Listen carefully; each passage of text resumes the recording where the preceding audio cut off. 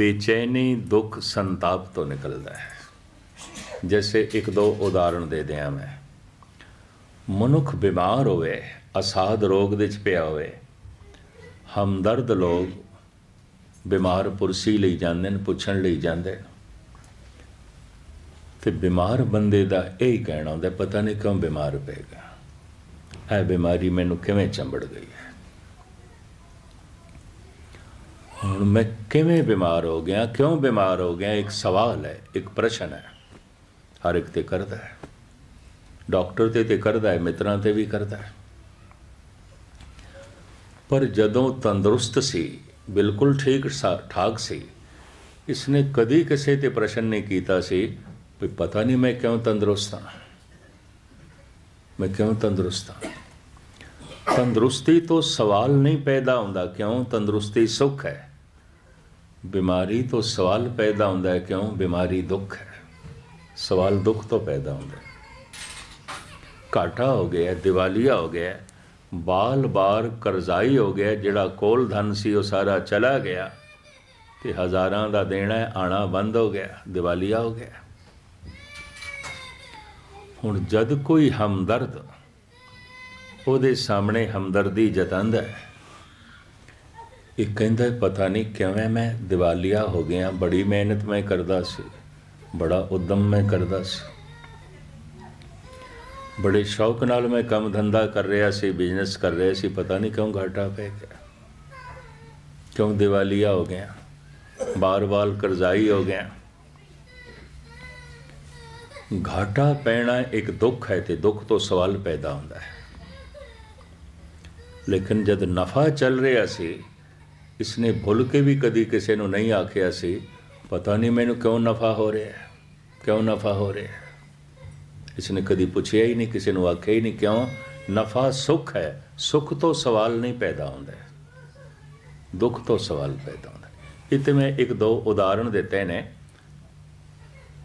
ਕੋਈ ਵੀ ਜਿਹੜਾ ਪ੍ਰਸ਼ਨ ਹੈ, ਅਗਰ ਅੰਦਰੋਂ ਨਿਕਲਿਆ ਵਾਕਈ ਮਨੋਰੰਜਨ ਨਹੀਂ ਐਵੇਂ, ਅੰਦਰੋਂ ਸਿਰਫ ਪੁੱਛਣ ਵਾਸਤੇ ਹੀ ਨਹੀਂ ਪੁੱਛਿਆ।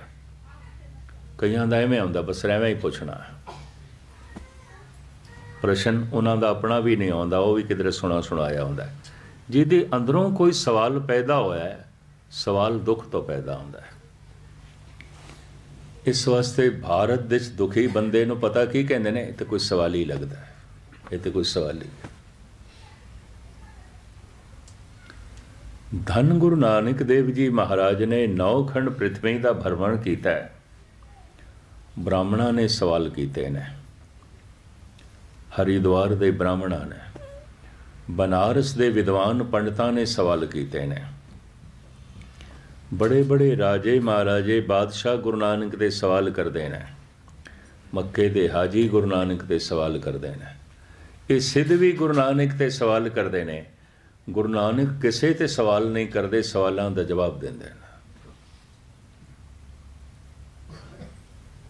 ਸਵਾਲਾਂ ਦੀ ਪੰਡ ਗੁਰੂ ਨਾਨਕ ਦੇਵ ਜੀ ਮਹਾਰਾਜ ਸਿਰ ਤੇ ਨਹੀਂ ਚੁੱਕੀ ਫਿਰਦੇ। ਜਵਾਬ ਨੇ ਉਹਨਾਂ ਕੋਲ, ਸਵਾਲੀ ਉਹਨਾਂ ਨੂੰ ਮਿਲਦੇ ਨੇ, ਸਵਾਲੀ ਤੋਂ ਮੁਰਾਦ ਦੁਖੀ। ਦੁਖੀ। ਹੁਣ ਇਸ ਨੂੰ ਮੈਂ ਬਹੁਤਾ ਵਿਸਥਾਰ ਨਾਲ ਨਾ ਬਿਆਨ ਕਰਾਂ। ਗੁਰੂ ਗ੍ਰੰਥ ਸਾਹਿਬ ਜੀ ਮਹਾਰਾਜ ਦੀ ਸਾਰੀ ਬਾਣੀ ਮਿਸਰੀ ਹੈ, ਅੰਮ੍ਰਿਤ ਧਾਰਾ ਹੈ। ਇਸ ਬਾਣੀ ਦੇ ਵਿੱਚ ਇੱਕ ਬਾਣੀ ਦਾ ਨਾਮ ਹੈ ਸਿੱਧ ਗੋਸ਼ਟ। ਬਾਣੀਆਂ ਦੇ ਬਕਾਇਦਾ ਨਾਮ ਨੇ। ਜਿਵੇਂ ਪਹਿਲੀ ਬਾਣੀ ਦਾ ਨਾਮ ਹੈ ਜਪ। ਜਪ। ਉੱਪਰ ਜੋ ਇੱਕ ਓੰਕਾਰ ਤੋਂ ਗੁਰਪ੍ਰਸਾਦ ਤੱਕ ਲਿਖਿਆ ਹੋਇਆ ਦਾ ਜਪ ਨਾਲ ਕੋਈ ਮਤਲਬ ਨਹੀਂ ਹੈ। ਇਹ ਤੇ ਮੰਗਲਾਚਰਨ ਹੈ। ਗੁਰੂ ਗ੍ਰੰਥ ਸਾਹਿਬ ਦਾ ਮੰਗਲਾਚਰਨ ਹੈ, ਜਪ ਦਾ ਮੰਗਲਾਚਰਨ ਹੈ। ਇਹ ਜੋ ਜਪ ਬਾਣੀ ਦਾ ਨਾਮ ਹੈ, ਸਤਕਾਰ ਨਾਲ ਅਸੀਂ ਕਹਿ ਦਿੰਦੇ ਹਾਂ ਜਪ ਜੀ ਸਾਹਿਬ। ਹੁਣ ਤੇ ਗੌੜੀ ਸੁਖਮਨੀ ਮੱਲਾ ਪੰਜਵਾਂ ਲਿਖਿਆ ਪਰ ਅਸੀਂ ਸਤਕਾਰ ਨਾਲ ਕਹਿ ਦਿੰਦੇ ਹਾਂ ਸੁਖਮਨੀ ਸਾਹਿਬ। ਬਾਣੀ ਦਾ ਨਾਮ ਜਪ ਹੈ। ਤੇ ਜਪ ਆਰੰਭ ਹੁੰਦਾ ਹੈ, ਆਦ ਸੱਚ, ਜੁਗਾਦ ਸੱਚ, ਹੈ ਵੀ ਸੱਚ, ਨਾਨਕ ਹੋਸੀ ਵੀ ਸੱਚ। ਇਹ ਸ਼ਲੋਕ ਹੈ। ਇਹਨੂੰ ਸ਼ਲੋਕ ਦੇ ਰੂਪ ਦੇ ਸੁਖਮਨੀ ਸਾਹਿਬ ਦੇ ਗੁਰੂ ਅਰਜਨ ਦੇਵ ਜੀ ਮਹਾਰਾਜ ਨੇ ਦਰਜ ਵੀ ਕੀਤਾ ਹੈ। ਸ਼ਲੋਕ, ਆਦ ਸੱਚ, ਜੁਗਾਦ ਸੱਚ, ਹੈ ਵੀ ਸੱਚ, ਨਾਨਕ ਹੋਸੀ ਵੀ ਸੱਚ।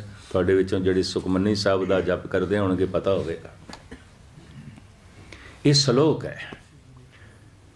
ਜਿਵੇਂ ਉਰਦੂ ਦੀ ਸ਼ਾਇਰੀ ਦੇ ਵਿੱਚ ਕਿੱਤਾ ਹੁੰਦਾ ਹੈ, ਨਜ਼ਮ ਹੁੰਦੀ ਹੈ, ਗਜ਼ਲ ਹੁੰਦੀ ਹੈ, ਰਵਾਈ ਹੁੰਦੀ ਹੈ। ਇਸ ਤਰ੍ਹਾਂ ਭਾਰਤ ਦੀਆਂ ਲੋਕਲ ਬੋਲੀਆਂ ਦੇ ਜਿਹੜੀ ਸ਼ਾਇਰੀ ਹੁੰਦੀ ਹੈ, ਕਵਿਤਾ ਹੁੰਦੀ ਹੈ, ਉਹਦੇ 'ਚ ਛੰਦ ਹੁੰਦੇ ਨੇ, ਸੈਂਕੜੇ ਕਿਸਮਾਂ ਦੇ ਛੰਦ। ਸੈਂਕੜੇ ਕਿਸਮਾਂ ਦੇ ਛੰਦ ਤੁਸੀਂ ਦਸਮ ਗ੍ਰੰਥ ਵਿੱਚ ਦੇਖ ਸਕਦੇ ਹੋ। ਚਾਚਰੀ ਛੰਦ, ਭੁਜੰਗ ਪ੍ਰਯਾਤ ਛੰਦ ਏਕ ਅੱਖਰੀ ਛੰਦ। ਹੈਰਾਨਗੀ ਆਉਂਦੀ ਹੈ ਭਾਰਤ ਵਿੱਚ ਜਿਤਨੀ ਛੰਦਾਬੰਦੀ ਹੈ, ਕਵਿਤਾ ਦੀ ਦਸਮ ਗ੍ਰੰਥ ਵਿੱਚ ਸਾਰੀ ਮੌਜੂਦ ਹੈ। ਗੁਰੂ ਗੋਬਿੰਦ ਸਿੰਘ ਜੀ ਮਹਾਰਾਜ ਨੇ ਇਤਨੇ ਛੰਦਾਂ ਦੇ ਵਿੱਚ ਆਪਣੇ ਖਿਆਲਾਂ ਨੂੰ ਉਜਾਗਰ ਕੀਤਾ ਹੈ। ਫੋਨੇ ਛੰਦ ਧੰਨ ਗੁਰੂ ਗ੍ਰੰਥ ਸਾਹਿਬ ਜੀ ਮਹਾਰਾਜ ਦੇ ਚ ਨੇ, ਗੁਰੂ ਅਰਜਨ ਦੇਵ ਜੀ ਦੇ। ਬਹੁਤ ਸਾਰੇ ਹੋਰ ਵੀ ਛੰਦ ਨੇ। ਤੋ ਸ਼ਾਇਰੀ ਕਵਿਤਾ ਦਾ ਇੱਕ ਨਮੂਨਾ ਹੈ, ਛੰਦ। ਇੱਕ ਸਵਈਆ ਹੈ। ਇੱਕ ਕਵਿਤਾ ਹੈ, ਦੋਹਾ ਹੈ, ਸ਼ਲੋਕ ਹੈ, ਪਦਾ ਹੈ ਔਰ ਪਦੇ ਕਈ ਤਰ੍ਹਾਂ ਦੇ ਦੋ ਪਦੇ ਤੇ ਪਦੇ ਚੌਪਦੇ ਪੰਜ ਪਦਾ ਅਸ਼ਟਪਦੀਆਂ ਤੱਕ। ਇਹ ਸ਼ਾਇਰੀ ਦਾ ਆਪਣਾ ਢੰਗ ਹੈ, ਕਵਿਤਾ ਦਾ ਆਪਣਾ ਢੰਗ ਹੈ। ਆਦ ਸੱਚ, ਜੁਗਾਦ ਸੱਚ ਅਗਰ ਕੋਈ ਸ਼ਾਇਰੀ ਦੀ ਮਸ ਰੱਖਦਾ ਹੈ, ਕਵਿਤਾ ਦੀ ਸੂਝ-ਬੂਝ ਰੱਖਦਾ ਹੈ ਸਿੱਖ ਜਗਤ ਵਿੱਚ ਇੱਕ ਬਹੁਤ ਵੱਡੀ ਕਮਜ਼ੋਰੀ ਹੈ। ਜਿਸ ਚੀਜ਼ ਨੂੰ ਬੰਦਾ ਜਾਣਦਾ ਨਹੀਂ, ਪਤਾ ਨਹੀਂ, ਉਹਦੇ 'ਚ ਵੀ ਗੁੱਥਮ ਗੁੱਥਾ ਹੁੰਦਾ ਬਹਿਸ ਮੁਬਾਜ਼ਾ ਕਰਦਾ ਹੈ। ਇਹੀ ਕਾਰਨ ਸਿੱਖ ਧਰਮ ਦਾ ਵਿਕਾਸ ਰੁਕ ਗਿਆ ਪ੍ਰਚਾਰ ਤੇ ਰੁਕਿਆ ਹੋਇਆ ਹੈ, ਕਿਉਂਕਿ ਪ੍ਰਚਾਰ ਕਰਨਾ ਤੇ ਸਿੱਖ ਕੌਮ ਨੂੰ ਆਇਆ ਹੀ ਨਹੀਂ। ਇੱਥੇ ਜਿਸ ਮੁਲਕ ਦੇ ਵਿੱਚ ਰਹਿੰਦੇ ਹੋਣ, ਉੱਥੇ ਵੀ ਆਪਣੀ ਪਹਿਚਾਨ ਨਹੀਂ ਕਰਾ ਸਕੇ ਕਿ ਅਸੀਂ ਸਿੱਖ ਹਾਂ, ਗੁਰੂ ਨਾਨਕ ਦੇ ਸਿੱਖ ਹਾਂ। ਤੇ ਗੁਰੂ ਨਾਨਕ ਨੇ ਆਖਿਆ ਕੀ ਹੈ, ਇਹ ਜਗਤ ਨੂੰ ਨਹੀਂ ਦੱਸ ਸਕਿਆ ਸੀ ਇਹ ਵੀ ਮਹਿਰਸ ਕਰਦੇ ਹਾਂ। ਇਸ ਮਾਮਲੇ 'ਚ ਅਸੀਂ ਬਿਲਕੁਲ ਪਛੜੇ ਹੋਏ ਹਾਂ, ਬਿਲਕੁਲ ਪਛੜੇ ਹਾਂ। ਨਾ ਖੁਦ ਸਮਝਿਆ, ਨਾ ਜਗਤ ਨੂੰ ਸਮਝਾਇਆ। ਉਂਝ ਤੀਸ ਮਾਰ ਖਾਨ ਬਣਿਆ ਹੋਇਆ ਪੈਸ ਮੁਬਾਸੇ ਦੇ ਚ ਲੜਨ ਦੇ, ਝਗੜਨ ਦੇ ਚ। ਖੈਰ ਮੁਖਤਸਰ ਮੈਂ ਅਰਜ਼ ਕਰਾਂ। ਸ਼ਾਇਰੀ ਦੇ ਅਨੰਤ ਨਮੂਨੇ ਨੇ। ਆਦ ਸੱਚ, ਜੁਗਾਦ ਸੱਚ, ਐ ਵੀ ਸੱਚ, ਨਾਨਕ ਹੋਸੇ ਵੀ ਸੱਚ, ਇਹ ਸ਼ਲੋਕ ਹੈ। ਪਹਿਲਾ ਸ਼ਲੋਕ, ਇਹਨੂੰ ਉਪਕਰਮ ਕਹਿੰਦੇ ਨੇ, ਸ਼ੁਰੂਆਤ ਦੀ ਉਪਮਾ। ਫਿਰ ਇੱਕ ਸ਼ਲੋਕ ਅਖੀਰ ਦੇ ਚ ਹੈ, ਪੌਣ ਗੁਰੂ, ਪਾਣੀ ਪਿਤਾ, ਮਾਤਾ ਧਰਤ ਮਹਤ, ਇਹ ਉਪਸੰਗਾਰ ਹੈ ਸਮਾਪਤੀ ਦੀ ਉਪਮਾ। ਵਿਚਕਾਰ 38 ਪੌੜੀਆਂ ਨੇ। ਪਹਿਲੀ ਪੌੜੀ ਕਿਹੜੀ ਹੈ? ਸੋਚੇ ਸੋਚ ਨਾ ਹੋਵੇ ਜੇ ਸੋਚੀ ਲਖਵਾਰ, ਇਹ ਪਹਿਲੀ ਪੌੜੀ ਹੈ। ਸਮਾਪਤ ਕਿੱਥੇ ਹੁੰਦੀ ਹੈ ਹੁਕਮ? ਰਜਾਈ ਚਲਣਾ ਨਾਨਕ ਲਿਖਿਆ ਨਾਲ। ਇੱਕ ਓੰਕਾਰ ਸਤਨਾਮ ਕਰਤਾ ਪੁਰ ਇਸ ਮੂਲ ਮੰਤਰ ਨੂੰ, ਇਸ ਮੰਗਲਾਚਰਨ ਨੂੰ। ਸਿੱਖ ਜਗਤ ਦੇ ਬਹੁਤੇ ਲੋਕ ਕਹਿੰਦੇ ਨੇ, ਪਹਿਲੀ ਪੌੜੀ ਦਾ ਪਾਠ ਕਰ ਲਓ ਜੀ। ਪਹਿਲੀ, ਉਹ ਪੌੜੀ ਹੈ ਹੀ ਨਹੀਂ। ਪਹਿਲੀ ਪੌੜੀ ਆਖੀ ਜਾਂਦੀ, ਇਤਨੀ ਵੀ ਸਮਝ ਨਹੀਂ ਹੈ, ਇਤਨਾ ਵੀ ਪਤਾ ਨਹੀਂ। ਪਰ ਉਂਝ ਬਥੇਰੀਆਂ ਡਿੰਗਾ ਮਾਰਨਗੇ। ਔਰ ਕਹਿਣਗੇ, ਨਹੀਂ ਜੀ, ਇਹ ਪੜੋ ਨਾ ਲੱਗੇ, ਜਪ ਆਦ ਸੱਚ ਜੁਗਾਦ ਕੌਣ ਦੱਸੇ ਜਪ ਤੇ ਬਾਣੀ ਦਾ ਨਾਮ? ਹੈ ਥੱਲੇ ਜਿਹੜੀ ਬਾਣੀ ਹੈ। ਆਦ ਸੱਚ ਜੁਗਾਦ ਸੱਚੇ, ਇਹ ਤੇ ਸ਼ਲੋਕ ਹੈ। ਇੱਕ ਓੰਕਾਰ ਤੋਂ ਲੈ ਕੇ ਗੁਰਪ੍ਰਸਾਦ ਤੱਕ ਜੋ ਹੈ, ਇਹ ਸ਼ਾਇਰੀ ਦੇ ਚ ਨਹੀਂ ਹੈ, ਕਵਿਤਾ ਦੇ ਚ ਨਹੀਂ ਹੈ। ਜਪਜੀ ਸਾਹਿਬ ਸੰਗੀਤ ਦੇ ਚ ਵੀ ਨਹੀਂ, ਉੱਪਰ ਕੋਈ ਰਾਗ ਵੀ ਨਹੀਂ ਹੈ। ਔਰ ਮੂਲ ਮੰਤਰ ਕਵਿਤਾ ਦੇ ਚ ਵੀ ਨਹੀਂ ਹੈ। ਗੀਤ ਨਹੀਂ ਹੈ। ਕਿਸ ਤਰ੍ਹਾਂ ਇਸ ਦਾ ਗੀਤ ਬਣਾਓਗੇ? ਇੱਕ ਓੰਕਾਰ, ਸਤਨਾਮ, ਕਰਤਾ ਪੁਰਖ, ਨਿਰਭਉ, ਨਿਰਵੈਰ, ਅਕਾਲ ਮੂਰਤ, ਅਜੋਨੀ, ਸੈਭੰ ਗੁਰ ਪ੍ਰਸਾਦ ਇੱਕ ਇੱਕ ਅੱਖਰ ਕਿਸ ਤਰ੍ਹਾਂ ਕਵਿਤਾ ਨਾਲ ਜੋੜੋਗੇ? ਕਵਿਤਾ ਨਹੀਂ ਹੈ। ਸ਼ਾਇਰੀ ਨਹੀਂ, ਤੁਹਾਡੇ ਵਿੱਚੋਂ ਅਗਰ ਕੋਈ ਸ਼ਾਇਰੀ ਦੀ ਮਸ ਰੱਖਦਾ ਹੈ, ਕਵਿਤਾ ਨੂੰ ਸਮਝਦਾ ਹੈ, ਇਹ ਕਵਿਤਾ ਨਹੀਂ ਹੈ। ਪਰਮਾਤਮਾ ਦੇ ਜਿਹੜੇ ਬੁਨਿਆਦੀ ਗੁਣ ਨੇ, ਜੋ ਗੁਰੂ ਨਾਨਕ ਦੇ ਕੰਠ ਤੋਂ ਨਿਕਲੇ ਉਹ ਸਿੱਖ ਜਗਤ ਵਿੱਚ ਮੰਗਲਾਚਰਨ ਬਣ ਗਿਆ। ਇਸ ਵਾਸਤੇ ਇਹ ਮੰਗਲਾਚਰਨ ਕਿਦਰੇ ਵੱਡੇ ਰੂਪ ਵਿੱਚ ਇੱਕ ਓੰਕਾਰ ਤੋਂ ਲੈ ਕੇ ਗੁਰਪ੍ਰਸਾਦ ਤੱਕ ਗੁਰੂ ਗ੍ਰੰਥ ਸਾਹਿਬ ਦੇ 33 ਦਫਾ ਦਰਜ ਹੈ, ਵੱਡੇ ਰੂਪ ਵਿੱਚ, ਛੋਟੇ ਰੂਪ ਵਿੱਚ, ਸੈਂਕੜੇ ਦਫਾ। ਲੇਕਿਨ ਫਿਰ ਵੀ ਜੀ ਕਹਿਣਗੇ ਜੀ ਮੂਲ ਮੰਤਰ ਪੜੋ ਜਪ ਆਦ ਸੱਜੁਗਾਦ ਸੱਚ ਸੰਤ ਜੀ ਮਹਾਰਾਜ ਕਹਿੰਦੇ ਨੇ, ਤੇ ਜੇ ਹੁਣ ਸੰਤ ਜੀ ਮਹਾਰਾਜ ਨੂੰ ਵਿਆਕਰਣ ਦਾ ਨਹੀਂ ਪਤਾ, ਗ੍ਰਾਮਰ ਦਾ ਨਹੀਂ ਪਤਾ, ਤੇ ਸ਼ਾਇਰੀ ਨੂੰ ਨਹੀਂ ਸਮਝਦੇ, ਤੇ ਸਿਰਫ ਬਾਣਾ ਸੰਤ ਹੈ। ਸਿਰਫ ਚਾਰ ਕੱਪੜੇ ਸੰਤ ਨੇ। ਆਪ ਦੀ ਗਿਆਤ ਲਈ ਅਰਜ਼ ਕਰਾਂ, ਸੰਤ ਨੂੰ ਸਿਰਫ ਸੰਤ ਸਮਝ ਸਕਦਾ ਹੈ ਦੂਸਰਾ ਨਹੀਂ। ਇਹ ਵੀ ਮੈਂ ਅਰਜ਼ ਕਰਦੇ ਹਾਂ। ਇੱਕ ਬੱਚੇ ਨੂੰ ਕੀ ਪਤਾ, ਜਵਾਨੀ ਕੀ ਹੁੰਦੀ ਹੈ? ਕੀ ਪਤਾ ਹੈ? ਭਾਵੇਂ ਜਵਾਨ ਉਸ ਦੇ ਸਾਹਮਣੇ ਨੇ। ਇੱਕ ਬੱਚੇ ਨੂੰ ਕੀ ਪਤਾ, ਜਵਾਨੀ ਕੀ ਹੁੰਦੀ ਹੈ? ਜਵਾਨੀ ਦੀ ਉਮੰਗ ਕੀ ਹੈ? ਜਵਾਨੀ ਦੀ ਤਰੰਗ ਕੀ ਹੈ? ਜਵਾਨੀ ਦੇ ਜਜ਼ਬਾਤ ਕੀ ਨੇ? ਜਵਾਨ ਦੀ ਚਾਹਤ ਕੀ ਹੈ? ਇੱਕ ਮਾਸੂਮ ਬੱਚੇ ਨੂੰ ਕੀ ਪਤਾ? ਭਾਵੇਂ ਜਵਾਨ ਉਸ ਦੇ ਸਾਹਮਣੇ ਬੈਠੇ ਨੇ ਜਵਾਨ ਹੋ ਕੇ ਹੀ ਪਤਾ ਚੱਲਦਾ ਹੈ ਜਵਾਨੀ ਕੀ ਹੈ। ਇੱਕ ਜਵਾਨ ਨੂੰ ਕੀ ਪਤਾ ਬੁਢੇਪਾ ਕੀ ਹੁੰਦਾ ਹੈ? ਭਾਵੇਂ ਬੁੱਢੇ ਉਸ ਦੇ ਸਾਹਮਣੇ ਨੇ। ਬੁਢੇਪੇ ਦੀ ਕਮਜ਼ੋਰੀ ਕੀ ਹੈ? ਬੁਢੇਪੇ ਦੀ ਮਜਬੂਰੀ ਕੀ ਹੈ? ਬੁਢੇਪੇ ਦੀ ਮਹਾਨਤਾ ਕੀ ਹੈ? ਬੁਢੇਪੇ ਦੀ ਖਾਸੀਅਤ ਕੀ ਹੈ? ਬੁਢੇਪੇ ਦੀ ਸਿਆਣਪ ਕੀ ਹੈ? ਇੱਕ ਜਵਾਨ ਨੂੰ ਕੀ ਪਤਾ ਹੈ? ਭਾਵੇਂ ਬੁੱਢੇ ਉਸ ਦੇ ਸਾਹਮਣੇ ਨੇ ਬੁੱਢੇ ਹੋ ਕੇ ਹੀ ਪਤਾ ਚੱਲਦਾ ਹੈ ਬੁਢੇਪਾ ਕੀ ਹੈ। ਉਂਝ ਨਹੀਂ ਪਤਾ ਚੱਲਦਾ। ਬੁੱਢੇ ਹੋ ਕੇ ਹੀ ਪਤਾ ਚੱਲਦਾ ਹੈ ਬੁਢੇਪਾ ਕੀ ਹੈ। ਉਂਝ ਨਹੀਂ ਪਤਾ ਚੱਲਦਾ। ਔਰ ਇੱਕ ਬੁੱਢੇ ਨੂੰ ਕੀ ਪਤਾ ਹੈ ਮੌਤ ਕੀ ਆਉਂਦੀ ਹੈ। ਭਾਵੇਂ ਸੈਂਕੜੇ ਲਾਸ਼ਾਂ ਉਸਨੇ ਵੇਖੀਆਂ ਭਾਵੇਂ ਸੈਂਕੜੇ ਦਫਾ ਸ਼ਮਸ਼ਾਨ ਘਾਟ ਦੇ ਵਿੱਚ ਗਿਆ ਹੋਵੇ, ਭਾਵੇਂ ਸੈਂਕੜੇ ਮੁਰਦਿਆਂ ਨੂੰ ਉਸਨੇ ਇਸ਼ਨਾਨ ਕਰਾਇਆ ਹੋਵੇ ਭਾਵੇਂ ਮੋਢੇ ਤੇ ਉਸਨੇ ਲਾਸ਼ਾਂ ਚੁੱਕੀਆਂ ਹੋਣ, ਇੱਕ ਬੁੱਢੇ ਨੂੰ ਕੀ ਪਤਾ ਮੌਤ ਕੀ ਹੈ? ਮਰ ਕੇ ਹੀ ਪਤਾ ਚੱਲਦਾ ਹੈ ਮੌਤ ਕੀ ਹੈ। ਉਂਝ ਨਹੀਂ ਪਤਾ ਚੱਲਦਾ। ਅੱਗੇ ਦਾ ਕੁਝ ਪਤਾ ਨਹੀਂ, ਅਗਲੀ ਕੁਝ ਖਬਰ ਨਾ ਪਾਏ। ਅੱਗੇ ਦਾ ਨਹੀਂ ਪਤਾ ਹੁੰਦਾ। ਬੱਚੇ ਤੋਂ ਜਵਾਨੀ ਅੱਗੇ ਹੈ, ਅੱਗੇ ਦੀ ਕੋਈ ਸਮਝ ਨਹੀਂ ਹੈ। ਜਵਾਨ ਤੋਂ ਬੁਢੇਪਾ ਅੱਗੇ ਹੈ, ਅੱਗੇ ਦੀ ਕੋਈ ਸਮਝ ਨਹੀਂ ਹੈ। ਔਰ ਬੁੱਢੇ ਤੋਂ ਮੌਤ ਅੱਗੇ ਅੱਗੇ ਦੀ ਕੋਈ ਸਮਝ ਨਹੀਂ ਹੈ। ਅਗਲੀ ਕੁਝ ਖਬਰ ਨਾ ਪਾਏ। ਅੱਗੇ ਦਾ ਕੋਈ ਬੋਧ ਨਹੀਂ ਅੱਗੇ ਦੀ ਕੋਈ ਸਮਝ ਨਹੀਂ। ਮੈਂ ਇੱਕ ਦਫਾ ਫਿਰ ਅਰਜ਼ ਕਰਾਂ, ਜਵਾਨ ਹੋ ਕੇ ਹੀ ਪਤਾ ਚੱਲਦਾ ਹੈ ਜਵਾਨੀ ਕੀ ਹੈ। ਬੁੱਢੇ ਹੋ ਕੇ ਹੀ ਪਤਾ ਚੱਲਦਾ ਹੈ, ਬੁਢੇਪਾ ਕੀ ਹੈ, ਮਰ ਕੇ ਹੀ ਪਤਾ ਚੱਲਦਾ ਹੈ ਮੌਤ ਕੀ ਹੈ। ਸੰਤ ਹੋ ਕੇ ਹੀ ਪਤਾ ਚੱਲਦਾ ਹੈ ਸੰਤਪਣਾ ਕੀ ਹੈ, ਉਂਝ ਨਹੀਂ ਉਂਝ ਨਹੀਂ।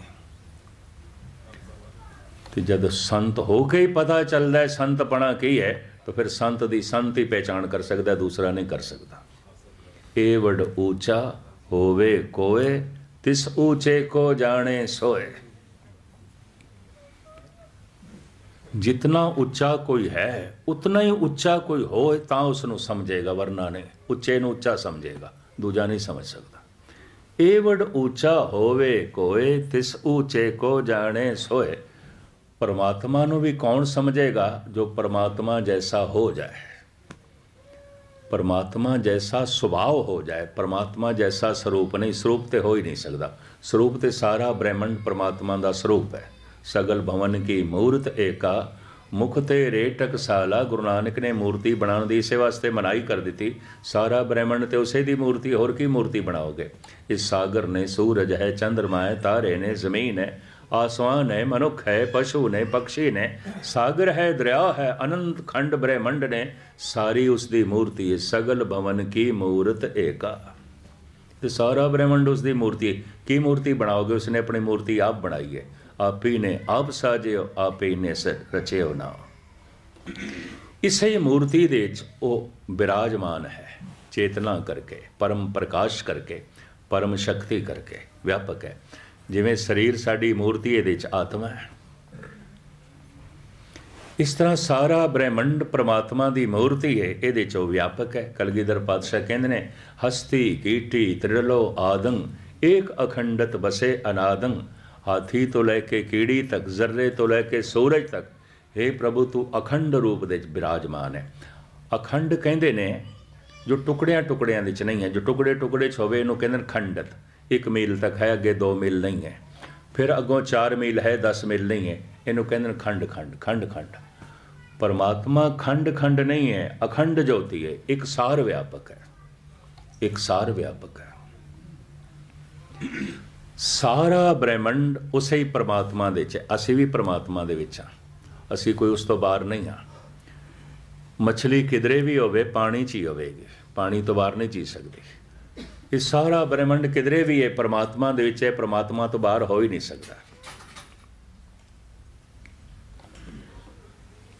ਵਿਆਪਕ ਸਤਾ ਔਰ ਸਭ ਕੁਝ ਉਸ ਦੇ ਵਿੱਚ ਹੈ। ਇਹ ਗੱਲ ਵੱਖਰੀ ਹੈ। ਈਰਾਨ ਦੇ ਸੂਫੀ ਸੰਤ ਸ਼ੇਖ ਸਾਦੀ ਨੇ ਕਿਹਾ ਵਿਆਪਕ ਹੈ ਪਰਮਾਤਮਾ, ਫਿਰ ਵੀ ਦੋ ਜਗ੍ਹਾ ਤੇ ਨਹੀਂ ਹੈ। ਦੋ ਥਾਵਾਂ ਤੇ ਨਹੀਂ ਹੈ। ਤੁਸੀਂ ਹੈਰਾਨ ਹੋਵੋਗੇ ਕਿਹੜੀਆਂ ਦੋ ਥਾਵਾਂ ਤੇ ਰੱਬ ਨਹੀਂ ਹੈ? ਕਿਹੜੀ ਦੋ ਥਾਵਾਂ ਤੇ ਪ੍ਰਮਾਤਮਾ ਨਹੀਂ ਹੈ? ਇਹਨੂੰ ਸ਼ੇਖ ਸਾਦੀ ਇੰਜ ਬਿਆਨ ਕਰਦੇ ਨੇ, ਮਨੁੱਖ ਦੀ ਸਮਝ ਦੇ ਵਿੱਚ ਪ੍ਰਮਾਤਮਾ ਨਹੀਂ ਹੈ। ਪਸ਼ੂਆਂ ਦੀ ਸਮਝ ਦੇ ਵਿੱਚ ਤੇ ਨਹੀਂ ਹੈ। ਮਨੁੱਖ ਦੀ ਸਮਝ ਦੇ ਵਿੱਚ ਪ੍ਰਮਾਤਮਾ ਨਹੀਂ ਹੈ। ਮਨੁੱਖ ਦੀ ਯਾਦ ਦੇ ਵਿੱਚ ਪ੍ਰਮਾਤਮਾ ਨਹੀਂ ਹੈ। ਰੋਮ ਰੋਮ ਦੇ ਵਿੱਚ ਉਹੀ ਹੈ, ਚੇਤੇ ਦੇ ਵਿੱਚ ਨਹੀਂ ਹੈ। ਰੋਮ ਰੋਮ ਦੇ ਵਿੱਚ ਉਹੀ ਹੈ, ਸਮਝ ਦੇ ਵਿੱਚ ਨਹੀਂ ਹੈ। ਦੋ ਜਗ੍ਹਾ ਤੇ ਨਹੀਂ ਹੈ, ਬਾਕੀ ਵਿਆਪਕ ਹੈ। ਤੇ ਜੇ ਸਮਝ ਦੇ ਵਿੱਚ ਨਹੀਂ ਹੈ ਤਾਂ ਫਿਰ ਨਹੀਂ ਹੈ ਨਹੀਂ ਹੈ। ਇਹ ਵੀ ਮੈਂ ਅਰਜ਼ ਕਰਦੇ ਹਾਂ। ਚੇਤੇ ਦੇ ਚ ਨਹੀਂ ਹੈ ਤਾਂ ਫਿਰ ਨਹੀਂ ਹੈ। ਕਿਤਨੇ ਕੁ ਲੋਕ ਨੇ ਜਿਨ੍ਹਾਂ ਦੀ ਸਮਝ ਦੇ ਚ ਹੈ, ਗੁਰਬਾਣੀ ਦਾ ਫੈਸਲਾ, ਜਨ ਨਾਨਕ ਕੋਟਨ ਮੇ ਕਿਨਹੂ, ਗੁਰਮੁਖ ਹੋਏ ਪਛਾਣਾ। ਕਰੋੜਾਂ ਚ ਕੋਈ ਇੱਕ ਅਦ ਜਿਹਦੀ ਸਮਝ ਦੇ ਚ ਹੈ। ਬਾਕੀ ਮੰਦਰ, ਮਸਜਿਦ ਗੁਰਦੁਆਰਿਆਂ ਦੀ ਭੀੜ, ਇਹ ਜਾਣਨ ਦੀ ਕੋਸ਼ਿਸ਼ ਪਏ ਕਰਦੇ ਨੇ, ਇਹਨਾਂ ਨੂੰ ਪਤਾ ਕੁਝ ਵੀ ਨਹੀਂ ਹੈ। ਇਹ ਕਹਿਣ ਦੇ ਵਿੱਚ ਮੈਨੂੰ ਕੋਈ ਸੰਕੋਚ ਨਹੀਂ ਹੈ। ਮਹਾਰਾਜ ਨੇ ਕਰੋੜ ਦੇ ਵਿੱਚ ਇੱਕ ਨਹੀਂ ਆਖਿਆ, ਕਰੋੜਾਂ ਦੇ ਵਿੱਚ ਇੱਕ ਬਹੁਵਚਨ ਹੈ। ਜਨ ਨਾਨਕ ਕੋ ਟਨਵੇਂ ਕਿਨਹੂ, ਗੁਰਮੁਖ ਹੋਏ ਪਛਾਣਾ, ਕੋਈ ਕਰੋੜਾਂ ਚ ਇੱਕ ਅਦ ਹੈ, ਜਿਹਨੂੰ ਸਮਝ ਹੈ। ਬਾਕੀਆਂ ਨੂੰ ਨਹੀਂ ਹੈ। ਐਵੇਂ ਡਿੰਗਾ ਮਾਰ ਦੇਣਾ।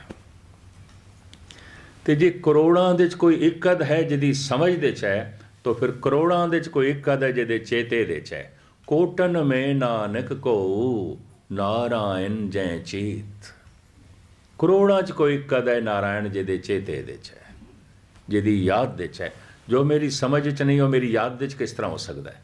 ਜਿਹਨੂੰ ਮੈਂ ਸਮਝਿਆ ਹੀ ਨਹੀਂ, ਜਿਹਨੂੰ ਮੈਂ ਜਾਣਦਾ ਹੀ ਨਹੀਂ, ਉਹਨੂੰ ਮੈਂ ਚੇਤੇ ਕਿਸ ਤਰ੍ਹਾਂ ਕਰਾਂਗਾ? ਕਹਿੰਦੇ ਨੇ ਸਿਮਰਨ ਕਰੋ ਸਿਮਰਨ ਕਰੋ। ਸੰਸਕ੍ਰਿਤ ਦੇ ਚ ਕਹਿੰਦੇ ਨੇ ਸਿਮਰਨ ਕਰੋ, ਪੰਜਾਬੀ ਚ ਕਹਿੰਦੇ ਨੇ ਚੇਤਾ ਕਰੋ, ਉਰਦੂ ਚ ਕਹਿੰਦੇ ਨੇ ਯਾਦ ਕਰੋ ਬਈ ਯਾਦ ਕਰੋ, ਚੇਤੇ ਕਰੋ, ਸਿਮਰਨ ਕਰੋ। ਕਿਸ ਦਾ ਕਰੋ? ਪਰਮਾਤਮਾ ਦਾ ਕਰੋ। ਜਿਹਦੀ ਸਮਝ ਹੀ ਨਹੀਂ, ਉਹਨੂੰ ਕਿਵੇਂ ਚੇਤੇ ਕਰੋਗੇ? ਕਿਸ ਤਰ੍ਹਾਂ ਕਰੋਗੇ? ਮੈਂ ਫਿਰ ਅਰਜ਼ ਕਰਾਂ, ਜਿਹਦੀ ਸਮਝ ਹੀ ਨਹੀਂ ਮੈਨੂੰ, ਮੈਂ ਉਸ ਨੂੰ ਯਾਦ ਕਿਸ ਤਰ੍ਹਾਂ ਕਰਾਂਗਾ? ਕਿਵੇਂ ਕਰਾਂਗਾ? ਅਗਰ ਪ੍ਰਮਾਤਮਾ ਸਮਝ ਦੇ ਚ ਆ ਜਾਏ, ਸਿਰਫ ਸਮਝ ਦੇ ਚ ਵੀ ਨਹੀਂ, ਇਤਨਾ ਪਤਾ ਚੱਲ ਜਾਏ ਮੇਰੀ ਸਮਝ ਵੱਡਾ ਹੈ, ਬਹੁਤ ਵੱਡਾ ਹੈ, ਮੇਰੀ ਸਮਝ ਛੋਟੀ ਹੈ, ਤੂੰ ਸਮਰੱਥ ਵੜਾ ਮੇਰੀ ਮਤ ਥੋਰੀ RAM हे ਪ੍ਰਭੂ, ਮੇਰੀ ਅਕਲ ਤੇ ਸਿਰਫ ਪਿਆਲੇ ਜਿਤਨੀ ਹੈ, ਤੂੰ ਤੇ ਸਾਗਰ ਹੈ। ਸਾਗਰ ਕਿਵੇਂ ਪਿਆਲੇ ਚ ਆਵੇਗਾ? ਜਦ ਅਕਲ ਨੂੰ ਇਹ ਪਤਾ ਚੱਲ ਜਾਂਦਾ ਹੈ, ਸਮਝ ਤੋਂ ਇਹ ਪਤਾ ਸਮਝ ਨੂੰ ਇਹ ਪਤਾ ਚੱਲਦਾ ਹੈ ਮੇਰੀ ਸਮਝ ਤੋਂ ਬਹੁਤ ਵੱਡਾ ਹੈ। ਸਮਝ ਪ੍ਰਭਾਵਿਤ ਹੋ ਜਾਂਦੀ ਹੈ। ਹਿਰਦਾ ਯਾਦ ਕਰਨ ਲੱਗ ਪੈਂਦਾ ਹੈ। ਜਿਸ ਤੋਂ ਮੈਂ ਪ੍ਰਭਾਵਿਤ ਨਹੀਂ ਆ ਉਹ ਮੇਰੀ ਮੰਗ ਨਹੀਂ ਹੈ। ਔਰ ਜਿਸ ਨੂੰ ਮੈਂ ਮੰਗਦਾ ਨਹੀਂ ਆ ਮੈਂ ਉਸ ਨੂੰ ਯਾਦ ਵੀ ਨਹੀਂ ਕਰਦਾ। ਔਰ ਜਿਸ ਨੂੰ ਮੈਂ ਯਾਦ ਨਹੀਂ ਕਰ ਰਿਹਾ, ਮੇਰਾ ਸਰੀਰ ਉਹਦੀ ਪ੍ਰਾਪਤੀ ਵਾਸਤੇ ਉਦਮ ਵੀ ਨਹੀਂ ਕਰਦਾ। ਉਦਮ ਵੀ ਨਹੀਂ ਕਰਦਾ। ਧਨ ਦੀ ਸਮਝ ਹੈ। ਇਹਦੀ ਪ੍ਰਾਪਤੀ ਲਈ ਸਾਰਾ ਦਿਨ ਭੱਜ ਦੌੜ ਕਰ ਸਕਦੇ ਹਾਂ, ਸਾਰੀ ਰਾਤ ਵੀ ਜਾਗ ਸਕਦੇ ਹਾਂ। ਧਰਮ ਦੀ ਸਮਝ ਨਹੀਂ ਹੈ, ਇਹਦੇ ਲਈ ਅੰਮ੍ਰਿਤ ਵੇਲੇ ਦਾ ਇੱਕ ਘੰਟਾ ਵੀ ਨਹੀਂ ਕੱਢ ਸਕਦੇ, ਨਹੀਂ ਕੱਢ ਸਕਦੇ। ਜੋ ਮੇਰੀ ਸਮਝ ਦੇ ਚ ਨਹੀਂ ਤੇ ਸਮਝ ਮੇਰੀ ਪ੍ਰਭਾਵਿਤ ਨਹੀਂ, ਉਹ ਮੇਰੀ ਮੰਗ ਨਹੀਂ ਹੋ ਸਕਦੀ। ਤੇ ਜੋ ਮੇਰੀ ਮੰਗ ਨਹੀਂ ਹੈ, ਉਹਨੂੰ ਮੈਂ ਯਾਦ ਕਿਵੇਂ ਕਰਾਂਗਾ? ਤੇ ਜੋ ਮੇਰੀਆਂ ਯਾਦਾਂ ਦੇ 'ਚ ਨਹੀਂ ਹੈ, ਮੇਰਾ ਸਰੀਰ ਕਿਸ ਤਰ੍ਹਾਂ ਉਦਮ ਤੇ ਸੰਘਰਸ਼ ਕਰੇਗਾ, ਬਾਜ ਦੌੜ ਕਰੇਗਾ, ਨਹੀਂ ਕਰਦਾ। ਕਿਸੇ ਦਾ ਵੀ ਨਹੀਂ ਕਰਦਾ, ਗੁਸਤਾਖੀ ਮਾਫ। ਬਥੇਰੀ ਦੁਨੀਆ ਅੰਮ੍ਰਿਤ ਵੇਲੇ ਸੁੱਤੀ ਰਹਿ ਜਾਂਦੀ ਸੁਣਨੇ ਪਏ ਹੁੰਦੇ ਨੇ ਗੁਰਦੁਆਰੇ, ਦੋ ਬੰਦੇ ਨਹੀਂ ਮਿਲਦੇ। ਇਹ ਵੀ ਮੈਂ ਅਰਜ਼ ਕਰਦੇ ਹਾਂ। ਖੇਡ ਤੇ ਸਾਰੀ ਅੰਮ੍ਰਿਤ ਵੇਲੇ ਦੀ ਹੈ, ਜਿਹੜੀ ਤੁਸੀਂ ਗੁਰਬਾਣੀ ਵਿਚਾਰ ਸੁਣ ਰਹੇ ਹੋ, ਇਸ ਸਮੇਂ ਦੀ ਨਹੀਂ ਹੈ, ਅੰਮ੍ਰਿਤ ਵੇਲੇ ਦੀ ਹੈ। ਜਿਵੇਂ ਮੌਸਮ ਦੇ ਮੁਤਾਬਕ ਬੀਜ ਬੀਜੀਦਾ ਹੈ ਨਾ ਪਰਮਾਤਮਾ ਦੀ ਵਿਚਾਰ, ਅੰਮ੍ਰਿਤ ਵੇਲਾ ਸੱਚ ਨਾਮ ਵਡਿਆਈ ਵਿਚਾਰ। ਦਿਮਾਗ ਤਾਜ਼ਾ ਹੁੰਦਾ ਹੈ, ਸਰੀਰ ਸੁਪੁਰਤ ਹੁੰਦਾ ਹੈ। ਉਸ ਵਕਤ ਹਿਰਦੇ ਦੀ ਧਰਤੀ ਇਸ ਢੰਗ ਨਾਲ ਬਣੀ ਹੁੰਦੀ ਹੈ ਸੁਣੀ ਹੋਈ ਗੱਲ ਹਿਰਦਾ ਮਨਨ ਨੂੰ ਰਾਜ਼ੀ ਹੋ ਜਾਂਦਾ ਔਰ ਉਦੋਂ ਤੇ ਸੁੱਤੇ ਰਹਿ ਗਏ। ਜਾਂ ਉਦੋਂ ਕਿਸੇ ਹੋਰ ਕੰਮਾਂ ਵਿੱਚ ਪ੍ਰਵਿਰਤ ਹੋ ਗਏ, ਵਕਤ ਹੀ ਕੋਈ ਨਹੀਂ। ਧਨ ਕਮਾਉਣ ਲਈ ਵਕਤ ਵੀ ਹੈ, ਉਦਮ ਵੀ ਹੈ, ਧਰਮ ਕਮਾਉਣ ਲਈ ਵਕਤ ਵੀ ਕੋਈ ਨਹੀਂ, ਉਦਮ ਵੀ ਨਹੀਂ ਪਰਿਵਾਰ ਲਈ ਪਰਿਵਾਰ ਦੀ ਪਾਲਣਾ ਲਈ। ਉਦਮ ਵੀ ਹੈ, ਵਕਤ ਵੀ ਹੈ, ਨਿਰੰਕਾਰ ਦੀ ਪ੍ਰਾਪਤੀ ਲਈ। ਨਾ ਉਦਮ ਹੈ, ਨਾ ਵਕਤ ਹੈ। ਕਿਉਂ? ਜੋ ਮੇਰੀ ਸਮਝ ਦੇ ਚ ਨਹੀਂ ਹੈ ਤੇ ਸਮਝ ਮੇਰੀ ਪ੍ਰਭਾਵਿਤ ਨਹੀਂ ਹੈ, ਮੇਰਾ ਹਿਰਦਾ ਉਸ ਦੀ ਮੰਗ ਨਹੀਂ ਕਰਦਾ। ਔਰ ਜਿਸ ਨੂੰ ਮੇਰਾ ਹਿਰਦਾ ਮੰਗ ਨਹੀਂ ਕਰਦਾ, ਮਨ ਬਾਰੀ ਬਾਰ ਯਾਦ ਵੀ ਨਹੀਂ ਕਰਦਾ। ਤੇ ਜੋ ਮੇਰੀਆਂ ਯਾਦਾਂ ਦੇ ਚ ਨਹੀਂ ਹੈ, ਉਹਦੀ ਪ੍ਰਾਪਤੀ ਲਈ ਇਹ ਸਰੀਰ ਉਦਮ ਵੀ ਨਹੀਂ ਕਰਦਾ। ਵੱਜਦਾ, ਦੌੜਦਾ ਨਹੀਂ, ਪਿਆ ਰਹੇਗਾ। ਮੇਰੀ ਯਾਦ ਚ ਨਹੀਂ ਹੈ। ਸਮਝ ਹੀ ਨਹੀਂ ਹੈ ਤਾਂ ਫਿਰ ਯਾਦ ਕਿੱਥੇ ਹੈ? ਕਿਸ ਤਰ੍ਹਾਂ ਚੇਤੇ ਕਰਾਂਗੇ? ਇੱਕ ਦਫਾ ਅਕਲ ਪ੍ਰਭਾਵਿਤ ਹੋ ਜਾਏ, ਪ੍ਰਮਾਤਮਾ ਮਹਾਨ ਹੈ। ਉਸ ਤੋਂ ਬਿਨਾਂ ਅਸੀਂ ਨਹੀਂ ਜੀ ਸਕਦੇ। ਜਿਵੇਂ ਪਾਣੀ ਤੋਂ ਬਿਨਾਂ ਮੱਛੀ ਨਹੀਂ ਜੀ ਸਕਦੀ, ਉਸ ਤੋਂ ਬਿਨਾਂ ਅਸੀਂ ਨਹੀਂ ਹੋ ਸਕਦੇ, ਜਿਵੇਂ ਪਾਣੀ ਤੋਂ ਬਿਨਾਂ ਮੱਛੀ ਨਹੀਂ ਹੋ ਸਕਦੀ। ਇਤਨੀ ਸਮਝ ਆ ਜਾਏ, ਫਿਰ ਭਗਤ ਕਬੀਰ ਕਹਿੰਦੇ ਨੇ, ਬਿਸਰਤ ਨਾ ਹੀ ਮਨ ਤੇ ਹਰੀ, ਭੁੱਲਦਾ ਹੀ ਨਹੀਂ, ਭੁੱਲਦਾ ਹੀ ਨਹੀਂ। ਅਸੀਂ ਯਾਦ ਵੀ ਕਰੀਏ ਤੇ ਭੁੱਲ ਜਾਂਦਾ ਹੈ। ਕਬੀਰ ਕਹਿੰਦੇ ਨੇ, ਮੈਂ ਭੁਲਾਵਾਂ ਵੀ ਤੇ ਯਾਦ ਆਉਂਦਾ ਬਿਸਰਤ ਨਾ ਹੀ ਮਨ ਤੇ ਹਰੀ, ਅਬ ਇਹ ਪ੍ਰੀਤ ਮਹਾਪਲ ਬਲ ਭਈ। ਬਿਖਮ ਨਾ ਜਾਏ ਜਰੀ। ਤੋ ਖੈਰ, ਮੈਂ ਲਮਕਾਵਾਂ ਨਾ। ਸਮੱਸਿਆ ਦੱਸ ਦਿੰਦੀ ਹੈ ਸਵਾਲ ਦੱਸ ਦਿੰਦਾ ਹੈ। ਵਾਸਤਵਿਕ ਇਸ ਮਨੁੱਖ ਦੀ ਲੋੜ ਕੀ ਹੈ? ਸਵਾਲ ਤੋਂ ਪਤਾ ਚੱਲ ਜਾਂਦਾ ਇਹਦੀ ਸਮੱਸਿਆ ਧਾਰਮਿਕ ਹੈ। ਸਵਾਲ ਤੋਂ ਪਤਾ ਚੱਲ ਜਾਂਦਾ ਇਹਦੀ ਸਮੱਸਿਆ ਸਰੀਰਕ ਹੈ, ਕੋਈ ਬਿਮਾਰੀ ਹੈ, ਕੋਈ ਰੋਗ ਹੈ। ਸਵਾਲ ਤੋਂ ਪਤਾ ਚੱਲ ਜਾਂਦਾ ਇਹਦਾ ਜੋ ਹੈ ਮਸਲਾ ਸਮਾਜਿਕ ਹੈ, ਪਰਿਵਾਰਕ ਹੈ, ਕੋਈ ਪਰਿਵਾਰ ਦੇ ਵਿੱਚ ਕਲਕਲੇਸ਼ ਹੈ। ਸਵਾਲ ਤੋਂ ਪਤਾ ਚੱਲ ਜਾਂਦਾ ਹੈ, ਇਹਦੀ ਸਮੱਸਿਆ ਕਾਰੋਬਾਰ ਹੀ। ਹੈ ਕੰਮ ਧੰਦੇ 'ਚ ਕੋਈ ਘਾਟਾ ਜਾਂ ਕੋਈ ਗੱਲ ਹੈ। ਸਵਾਲ ਦੱਸ ਦਿੰਦੇ ਨੇ। ਸਵਾਲ ਤੋਂ ਪਤਾ ਚੱਲ ਜਾਂਦਾ ਹੈ। ਸਵਾਲ ਦੁੱਖ ਤੋਂ ਨਿਕਲਦਾ ਹੈ। ਇਸ ਵਾਸਤੇ ਦੁਖੀ ਬੰਦੇ ਨੂੰ ਕਹਿੰਦੇ ਨੇ ਸਵਾਲੀ ਲੰਬਾ ਚੌੜਾ ਵਿਸਥਾਰ ਬਿਆਨ ਕਰਨ ਤੋਂ ਮੈਂ ਬਾਜ਼ ਆਵਾਂ ਤੇ ਜਿਹੜੇ ਚੰਦ ਮਿੰਟ ਨੇ, ਕਿਉਂਕਿ ਦਾਸ ਨੇ ਦੂਸਰੇ ਸਥਾਨ ਤੇ ਵੀ ਹਾਜ਼ਰੀ ਭਰਨੀ ਹੈ, ਮੂਲ ਗੱਲ ਤੁਹਾਡੇ ਸਾਹਮਣੇ ਰੱਖਾਂ। ਸਿੱਧਾਂ ਦੇ ਪ੍ਰਸ਼ਨ ਗੁਰੂ ਨਾਨਕ ਦੇ ਉੱਤਰ। ਮੱਕੇ ਦੇ ਹਾਜੀ ਗੁਰੂ ਨਾਨਕ ਤੇ ਸਵਾਲ ਕਰਦੇ ਨੇ, ਗੁਰੂ ਨਾਨਕ ਜਵਾਬ ਦਿੰਦੇ ਨੇ। ਹਰੀਦਵਾਰ ਦੇ ਪਾਂਦੇ ਗੁਰੂ ਨਾਨਕ ਤੇ ਸਵਾਲ ਕਰਦੇ ਨੇ, ਸਤਿਗੁਰ ਜਵਾਬ ਦਿੰਦੇ ਨੇ। ਬਨਾਰਸ ਦੇ ਬੜੇ ਬੜੇ ਵਿਦਵਾਨ ਪੰਡਤ ਗੁਰੂ ਨਾਨਕ ਤੇ ਪ੍ਰਸ਼ਨ ਕਰਦੇ ਨੇ, ਸਤਿਗੁਰ ਉੱਤਰ ਦਿੰਦੇ ਨੇ। ਬਾਬਰ ਜੈਸਾ ਹੁਕਮਰਾਨ ਪ੍ਰਸ਼ਨ ਕਰਦਾ ਹੈ, ਸਵਾਲ ਕਰਦਾ ਹੈ, ਗੁਰੂ ਨਾਨਕ ਜਵਾਬ ਦਿੰਦੇ ਨੇ। ਸਿੱਧਾਂ ਦੇ ਚੋਂ ਉਸ ਵਕਤ ਗੋਰਖ ਦਾ ਸਭ ਤੋਂ ਵੱਡਾ ਚੇਲਾ ਚਰਪਟਨਾਥ। ਗੁਰੂ ਨਾਨਕ ਤੇ ਪ੍ਰਸ਼ਨ ਕਰਦਾ ਹੈ, ਦੁਨੀਆ ਸਾਗਰ, ਦੁੱਤਰ ਕਈਏ ਕਿਉਂ ਕਰ ਪਾਈਏ ਪਾਰੋ? ਚਰਪਟ ਬੋਲੇ, ਔਧੋ ਨਾਨਕ ਦੇਹੋ ਸਚਾ ਵਿਚਾਰੋ ਇਹ ਨਾਨਕ ਜੀ ਸੱਚ ਦੀ ਵਿਚਾਰ ਦੱਸੋ, ਇਹ ਜਿਹੜਾ ਸੰਸਾਰ ਹੈ ਨਾ, ਇਹ ਨਤਰੇ ਜਾਣ ਵਾਲਾ ਸਾਗਰ ਹੈ। ਦੁਨੀਆ ਸਾਗਰ ਦੋਤਰ ਕਹੀਏ ਦੁਸਤਰ ਨਤਰੇ ਜਾਣ ਵਾਲਾ। ਨਹੀਂ ਪਾਰ ਕਰ ਸਕਦੇ। ਸੰਸਾਰ ਨੂੰ ਗੁਰਬਾਣੀ ਨੇ ਉਪਨਿਸ਼ਦਾਂ ਨੇ, ਵੇਦਾਂ ਨੇ, ਮਹਾਤਮਾ ਬੁੱਧ ਨੇ, ਸਵਾਮੀ ਮਹਾਵੀਰ ਨੇ, ਸਾਰੇ ਭਾਰਤ ਦੇ ਧਾਰਮਿਕ ਗ੍ਰੰਥਾਂ ਨੇ ਸੰਸਾਰ ਨੂੰ ਸਾਗਰ ਨਾਲ ਤਸ਼ਬੀਹ ਦਿੱਤੀ ਹੈ। ਸੰਸਾਰ ਸਾਗਰ। ਤਸ਼ਬੀਹ ਦਿੱਤੀ ਹੈ। ਰੂਪਕ ਅਲੰਕਾਰ ਵੀ ਇਸ ਤਰ੍ਹਾਂ ਦੇ ਬਿਆਨ ਕੀਤੇ ਨੇ। ਕਿਸੇ ਚੀਜ਼ ਦਾ ਰੂਪ ਬਣਾ ਕੇ ਤੇ ਕਿਸੇ ਦੀ ਹੋਂਦ ਨੂੰ ਸਾਹਮਣੇ ਪ੍ਰਗਟ ਕਰਨਾ ਹੈ, ਇਹਨੂੰ ਰੂਪਕ ਅਲੰਕਾਰ ਕਹਿੰਦੇ ਨੇ, ਮੁਸ਼ਾਬਤ ਪੇਸ਼ ਕਰ ਦੇਣੀ, ਤਸ਼ਬੀਹ ਪੇਸ਼ ਕਰ ਦੇਣੀ, ਤੁਲਨਾਤਮਕ ਗੱਲ ਕਰ ਦੇਣਾ। ਸੰਸਾਰ ਸਾਗਰ ਹੈ, ਸਾਗਰ ਦੇ ਵਿੱਚ ਪਾਣੀ ਹੈ, ਸੰਸਾਰ ਦੇ ਵਿੱਚ ਪਦਾਰਥ ਨੇ ਪਦਾਰਥ ਨੇ। ਸਾਗਰ ਦੇ ਵਿੱਚ ਲਹਿਰਾਂ ਨੇ, ਸੰਸਾਰ ਦੇ ਵਿੱਚ ਸਮੱਸਿਆਵਾਂ ਨੇ। ਕਦੀ ਸਰੀਰਕ ਸਮੱਸਿਆ, ਕਦੀ ਆਰਥਿਕ ਸਮੱਸਿਆ, ਕਦੀ ਪਰਿਵਾਰਕ ਸਮੱਸਿਆ, ਕਦੀ ਰਾਜਨੈਤਿਕ ਸਮੱਸਿਆ, ਕਦੀ ਮਾਨਸਿਕ ਸਮੱਸਿਆ, ਕਦੀ ਧਾਰਮਿਕ ਸਮੱਸਿਆ, ਬੰਦਾ ਇੱਕ ਸਮੱਸਿਆਵਾਂ ਕਿਤਨੀਆਂ? ਕੋਈ ਲਹਿਰਾਂ ਮੁੱਕਦੀਆਂ ਨੇ? ਇੱਕ ਸਮੱਸਿਆ ਦਾ ਅੰਤ ਹੋ ਜਾਏ, ਦੂਸਰੀ ਇੱਕ ਲਹਿਰ ਖਤਮ ਹੁੰਦੀ ਹੈ, ਦੂਜੀ। ਸਾਗਰ ਦੇ ਵਿੱਚ ਲਹਿਰਾਂ ਨੇ, ਸੰਸਾਰ ਦੇ ਸਮੱਸਿਆਵਾਂ ਨੇ। ਸਾਗਰ ਦੇ ਪਾਣੀ ਨੂੰ ਨਾਪਿਆ ਤੋਲਿਆ ਨਹੀਂ ਜਾ ਸਕਦਾ। ਅਥਾਹ ਹੈ ਅਥਾਹ ਹੈ। ਸੰਸਾਰ ਦੇ ਪਦਾਰਥਾਂ ਨੂੰ ਵੀ ਨਾਪਿਆ ਤੋਲਿਆ ਨਹੀਂ ਜਾ ਸਕਦਾ। ਅਥਾਹ ਹੈ। ਮਨੁੱਖ ਮਰ ਜਾਂਦਾ ਹੈ, ਕੋਈ ਸੋਨਾ ਚਾਂਦੀ ਨਹੀਂ ਮਰ ਜਾਂਦਾ, ਰੰਗ ਰੂਪ ਨਹੀਂ ਮਰ ਜਾਂਦੇ। ਸਭ ਕੁਝ ਰਹਿੰਦਾ ਹੈ। ਅਰਬਾਂ ਖਰਬਾਂ ਮਨੁੱਖਾਂ ਦੀਆਂ ਕਬਰਾਂ ਬਣ ਚੁੱਕੀਆਂ ਅਰਬਾਂ ਖਰਬਾਂ ਮਨੁੱਖ ਚੇਤਾਵਾਂ 'ਚ ਜਲ ਚੁੱਕੇ ਨੇ। ਕੋਈ ਜਗਤ ਦੇ ਵਿੱਚ ਪਦਾਰਥ ਮੁੱਕਦੇ ਨਹੀਂ ਗਏ। ਮੌਜੂਦ ਨੇ। ਸਾਗਰ ਦਾ ਪਾਣੀ ਨਾਪਿਆ ਤੋਲਿਆ ਨਹੀਂ ਜਾਂਦਾ। ਸੰਸਾਰ ਦੇ ਪਦਾਰਥ ਨਾਪੇ, ਤੋਲੇ ਨਹੀਂ ਜਾਂਦੇ ਅਥਾਹ ਨੇ ਸਾਗਰ ਦੇ ਵਿੱਚ ਕਦੀ ਕਦਾਈ ਇੱਕ ਕਦ ਸ਼ਿਪ ਇੱਕ ਕਦ ਕਿਸ਼ਤੀ ਡੁੱਬ ਜਾਂਦੀ ਹੈ। ਕਦੀ ਕਦਾਈ। ਸੰਸਾਰ ਦੇ ਅਖਬਾਰਾਂ ਦੀ ਸੁਰਖੀ ਬਣਦੀ ਹੈ, ਖਬਰ ਬਣਦੀ ਹੈ। ਰੇਡੀਓ, ਟੀਵੀ ਦੀ ਇਹ ਪਹਿਲੀ ਖਬਰ ਬਣ ਜਾਂਦੀ ਹੈ। ਇੱਕ ਸ਼ਿਪ ਡੁੱਬ ਗਿਆ। ਹਜ਼ਾਰਾਂ ਮਨੁੱਖ ਡੁੱਬ ਗਏ। ਇੱਕ ਕਿਸ਼ਤੀ ਡੁੱਬ ਗਈ, ਸੈਂਕੜੇ ਮਨੁੱਖ ਡੁੱਬ ਗਏ।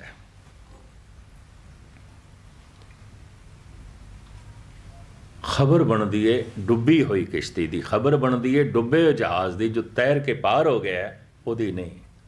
ਹਜ਼ਾਰਾਂ ਤੇ ਪਾਰ ਹੋ ਗਏ ਕੋਈ ਇੱਕ ਅਦ ਘਟਨਾ ਘਟਦੀ ਏ ਉਸ ਦਾ ਜ਼ਿਕਰ ਹੁੰਦਾ ਹੈ। ਸਾਗਰ ਦੇ ਵਿੱਚ ਕਦੀ ਕਦਾਈ ਕੋਈ ਇੱਕ ਅਦ ਸ਼ਿਪ ਡੁੱਬ ਜਾਂਦਾ ਹੈ। ਖਬਰ ਬਣਦੀ ਹੈ, ਸੰਸਾਰ ਦੀ ਸੁਰਖੀ ਬਣਦੀ ਹੈ। ਖਬਰਾਂ ਦੀ, ਅਖਬਾਰਾਂ ਦੀ। ਸਾਗਰ ਦੇ ਚ ਕਦੀ ਕਦਾਈ ਕਿਸੇ ਖੇਤੇ ਚ ਬਹੁਤ ਵੱਡਾ ਤੂਫਾਨ ਆ ਜਾਂਦਾ ਹੈ। ਲੱਖਾਂ ਮਨੁੱਖ ਗਰਕ ਹੋ ਜਾਂਦੇ ਨੇ। ਸ਼ਾਇਦ ਆਪ ਨੂੰ ਪਤਾ ਹੋਵੇ 3 ਸਾਲ ਪਹਿਲੇ ਭਾਰਤ ਦੇ ਚ ਉੜੀਸਾ ਦੇ ਚ ਬੰਗਾਲ ਦੀ ਖਾੜੀ ਦੇ ਤੂਫਾਨ ਆਇਆ।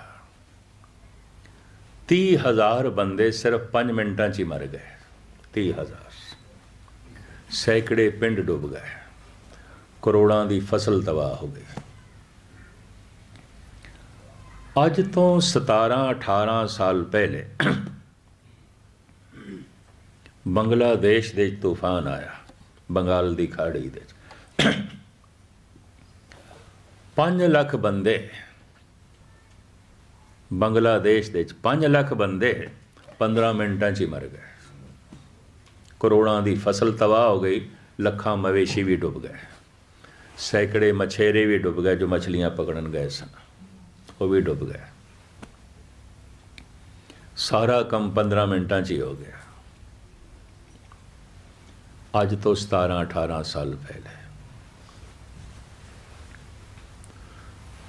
ਸੰਸਾਰ ਨੂੰ ਸਾਗਰ ਨਾਲ ਤਸ਼ਬੀਹ ਦਿੱਤੀ ਹੈ, ਸਾਗਰ ਦੇ ਵਿੱਚ ਕਦੀ ਕਦਾਈ ਕਿਸੇ ਇੱਕ ਖਿੱਤੇ, ਸਾਰੇ ਸਮੁੰਦਰ ਦੇ ਵਿੱਚ ਨਹੀਂ, ਕਿਸੇ ਇੱਕ ਖਿੱਤੇ ਦੇ ਵਿੱਚ ਕੋਈ ਤੂਫਾਨ ਆ ਜਾਂਦਾ ਹੈ।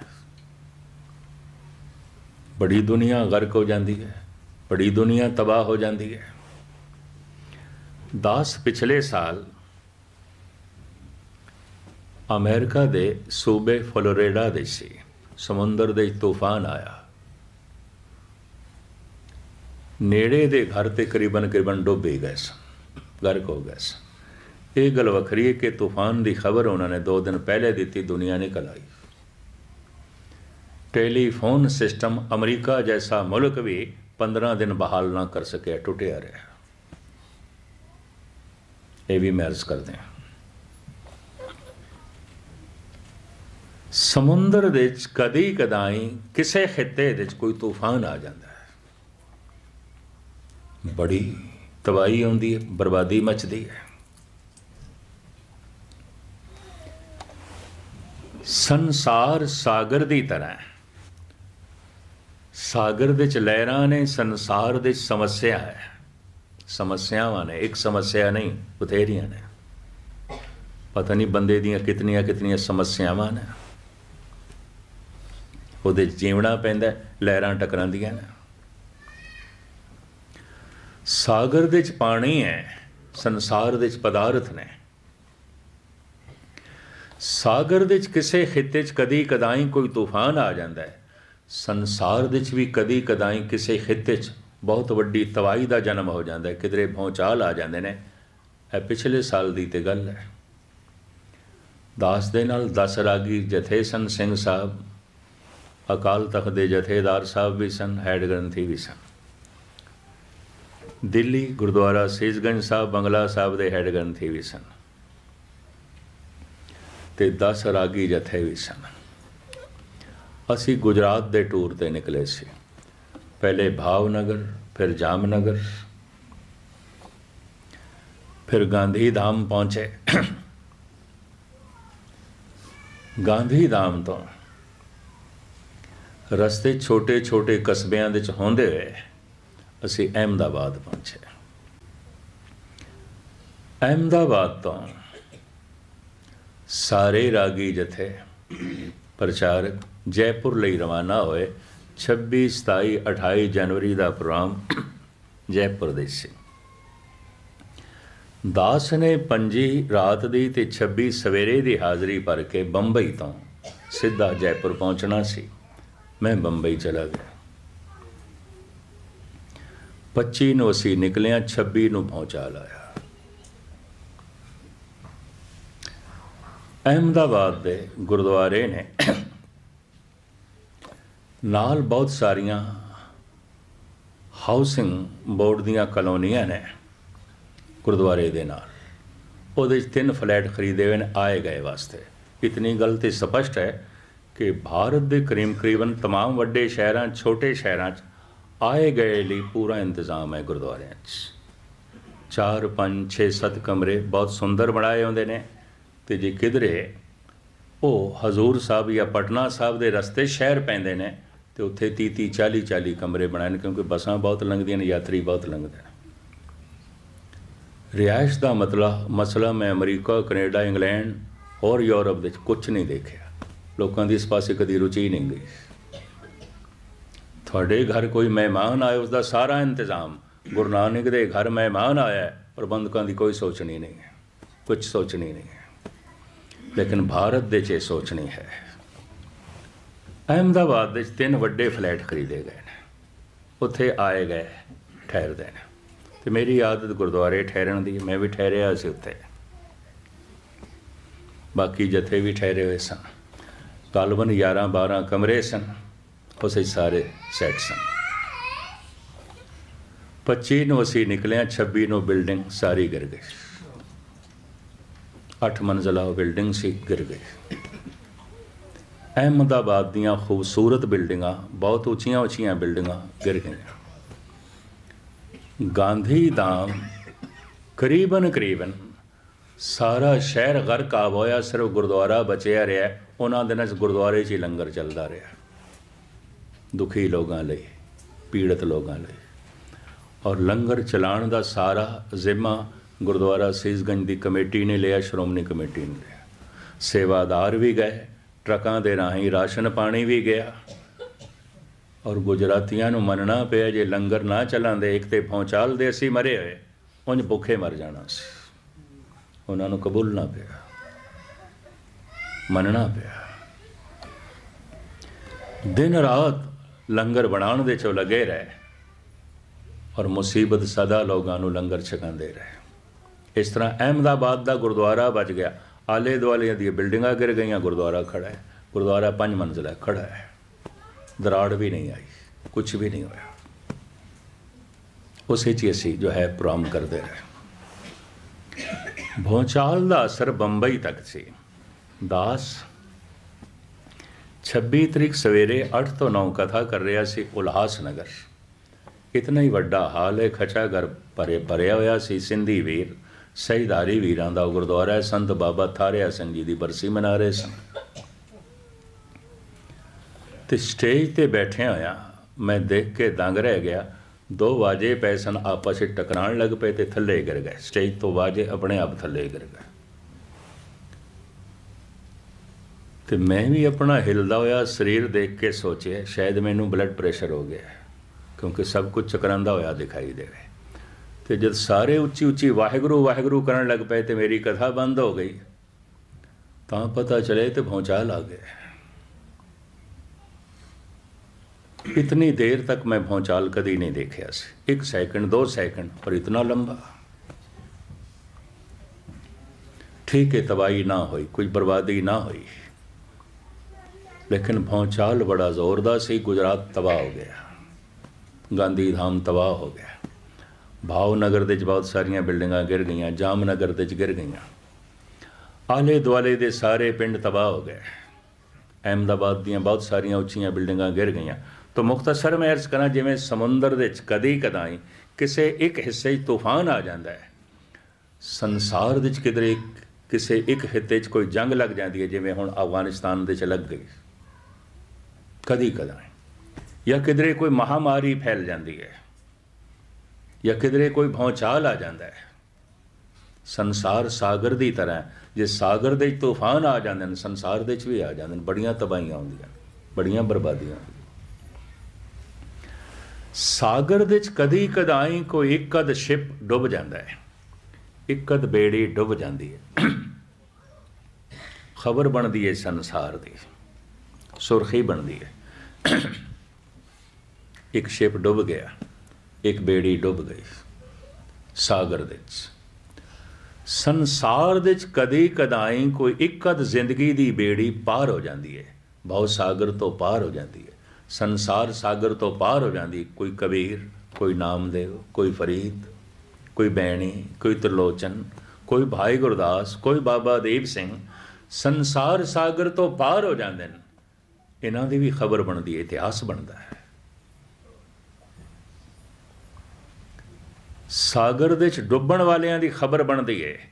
ਸੰਸਾਰ ਸਾਗਰ ਦੇ ਜੋ ਕੋਈ ਤੈਰ ਜਾਂਦੇ ਨੇ, ਕਿਉਂਕਿ ਕਦ ਤੈਰ ਜਾਂਦੇ ਨੇ, ਕਰੋੜਾਂ ਤੇ ਡੁੱਬਦੇ ਨੇ, ਹਮ ਦੇ ਕਾਂ ਹੈ ਡੁੱਬੇ ਵਾਲੇ ਡੁੱਬੇ ਦੀ ਪਹਿਚਾਣ ਕੀ ਹੈ?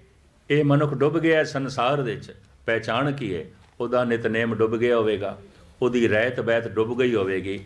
ਉਹਦੀ ਸਿੱਖੀ ਵੀ ਡੁੱਬ ਗਈ ਹੋਵੇਗੀ, ਉਹਦਾ ਅੰਮ੍ਰਿਤ ਵੇਲਾ ਡੁੱਬ ਗਿਆ ਹੋਵੇਗਾ, ਗੁਰੂ ਦੇ ਕਕਾਰ ਡੁੱਬ ਗਏ ਹੋਣਗੇ।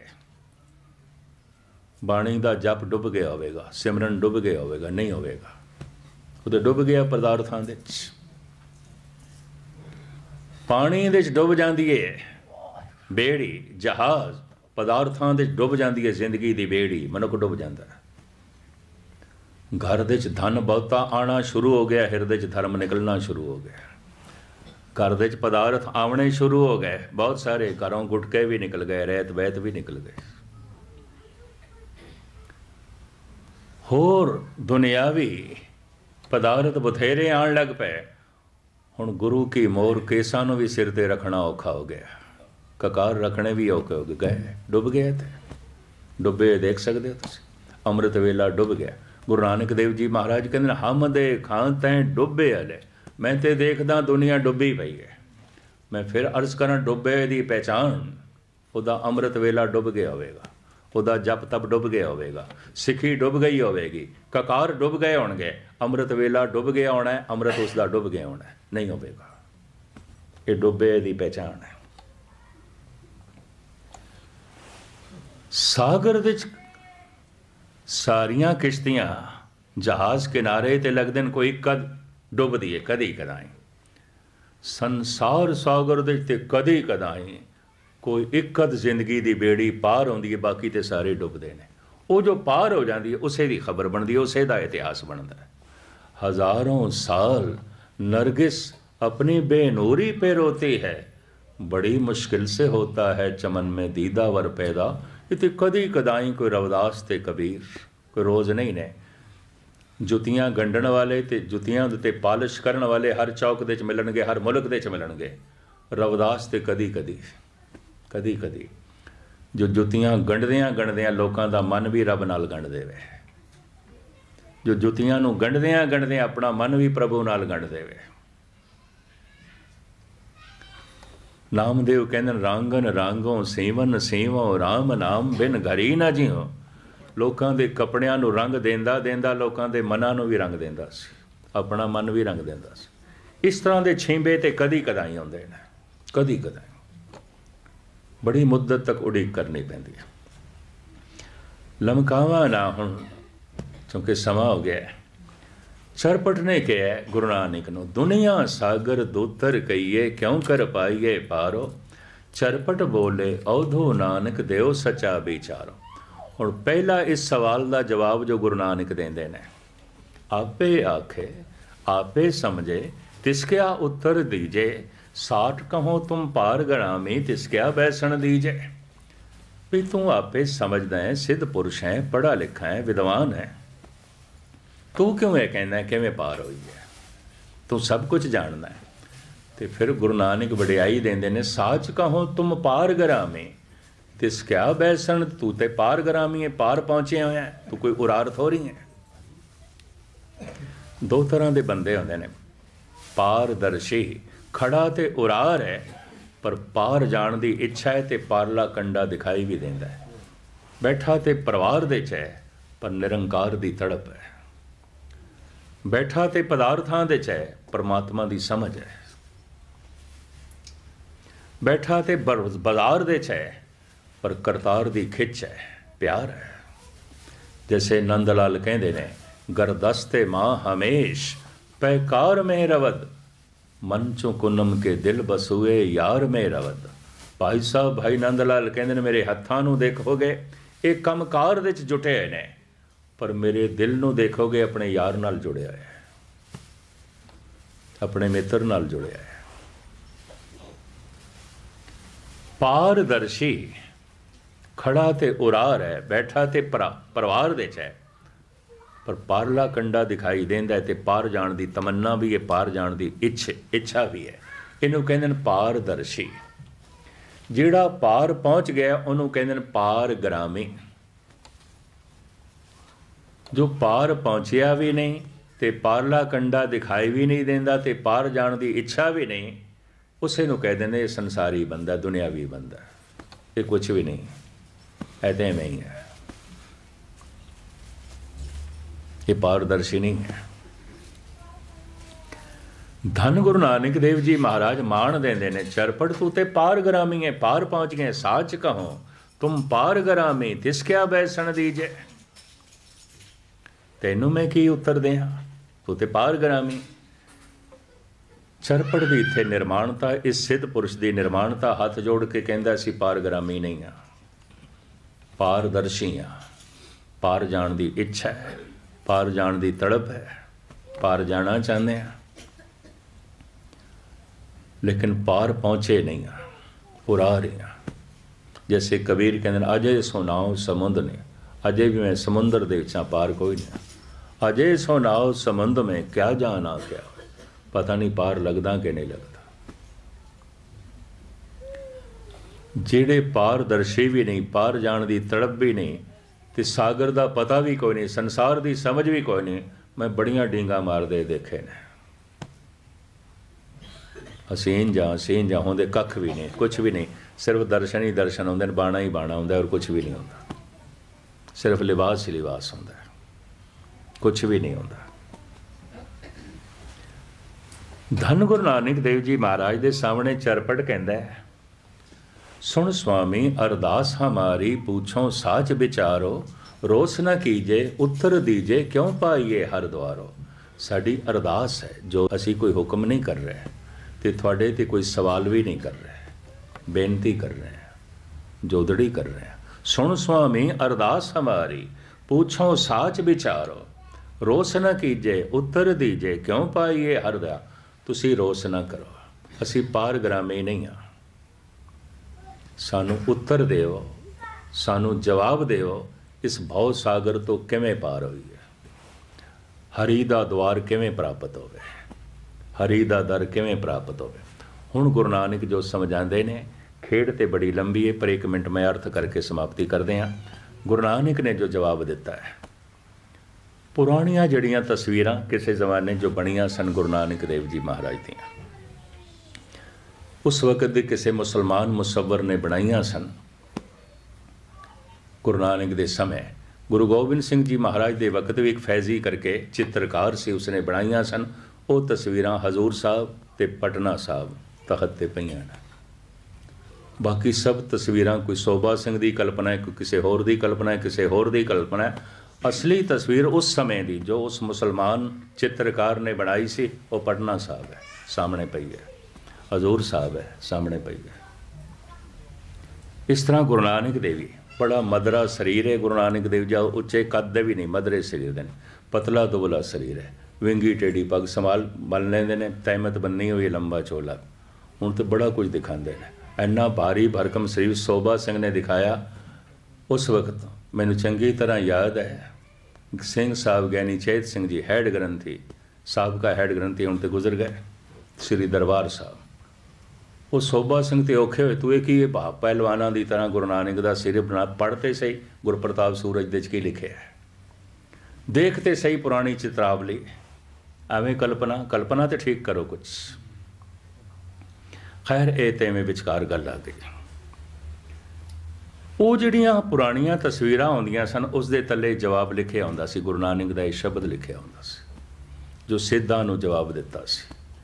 ਸਾਗਰ ਤੋਂ ਕਿਵੇਂ ਪਾਰ ਹੋਈ? ਹੁਣ ਗੁਰੂ ਨਾਨਕ ਸਮਝਾਉਂਦੇ ਨੇ, ਜੈਸੇ ਜਲ ਮੇ ਕਮਲ ਨਿਰਾਲਮ, ਮੁਰਗਾ ਈ ਨੇ ਸਾਣੇ, ਸ਼ਬਦ ਸੁਰਤ ਭਉ ਸਾਗਰ ਤਰੀਏ, ਨਾਨਕ ਨਾਮ ਵਖਾਣੇ, ਰਹੇ ਇਕਾਂਤ ਏਕੋ ਮਨ ਵਸਿਆ, ਆਸਾ ਮਾਏ ਨਿਰਾਸੋ, ਅਗਮ ਅਗੋਚਰ ਦੇਖ ਦਿਖਾਏ, ਨਾਨਕ ਤਾਂ ਕਾ ਦਾਸੋ। ਜਿਸ ਤਰ੍ਹਾਂ ਜਲ ਦੇ ਵਿੱਚ ਕਮਲ ਹੈ, ਪਾਣੀ ਵੱਧਦਾ ਹੈ ਤੇ ਹੋਰ ਉੱਪਰ ਉੱਠਦਾ ਹੈ, ਡੁੱਬਦਾ ਨਹੀਂ ਹੈ। ਘਰ ਦੇ ਵਿੱਚ ਪਦਾਰਥ ਵਧਨ ਪ੍ਰਭਤਾ ਵਧੇ, ਤਾਕਤ ਵਧੇ, ਸੰਪਦਾ ਵਧੇ, ਮਨੁੱਖ ਤੇ ਡੁੱਬ ਜਾਂਦਾ ਕਮਲ ਨਹੀਂ ਡੁੱਬਦਾ ਪਾਣੀ 'ਚ ਠੀਕ ਹੈ, ਪਦਾਰਥ ਸਾਡੀ ਜ਼ਿੰਦਗੀ ਹੈ, ਪਾਣੀ ਕਮਲ ਦੀ ਜ਼ਿੰਦਗੀ ਹੈ। ਪਦਾਰਥਾਂ ਤੋਂ ਬਿਨਾਂ ਅਸੀਂ ਜੀ ਨਹੀਂ ਸਕਦੇ। ਪਰ ਪਦਾਰਥਾਂ 'ਚ ਜੀਵੀਏ ਡੁੱਬੀਏ ਤੇ ਨਾ ਨਾ। ਪਰਿਵਾਰ ਦੇ 'ਚ ਜੀਵੀਏ ਡੁੱਬੀਏ ਤੇ ਨਾ। ਕੋਈ ਪਰਿਵਾਰ ਦੇ 'ਚ ਡੁੱਬ ਗਿਆ, ਕੋਈ ਪਦਾਰਥਾਂ 'ਚ ਡੁੱਬ ਗਿਆ, ਕੋਈ ਧਨ ਸੰਪਦਾ 'ਚ ਡੁੱਬ ਗਿਆ। ਜੀਵੀਏ ਪਾਣੀ ਦੇ 'ਚ, ਕਮਲ ਦੀ ਤਰ੍ਹਾਂ ਡੁੱਬੀਏ ਨਾ। ਪਾਣੀ ਦੇ 'ਚ ਕਮਲ ਦੀ ਤਰ੍ਹਾਂ।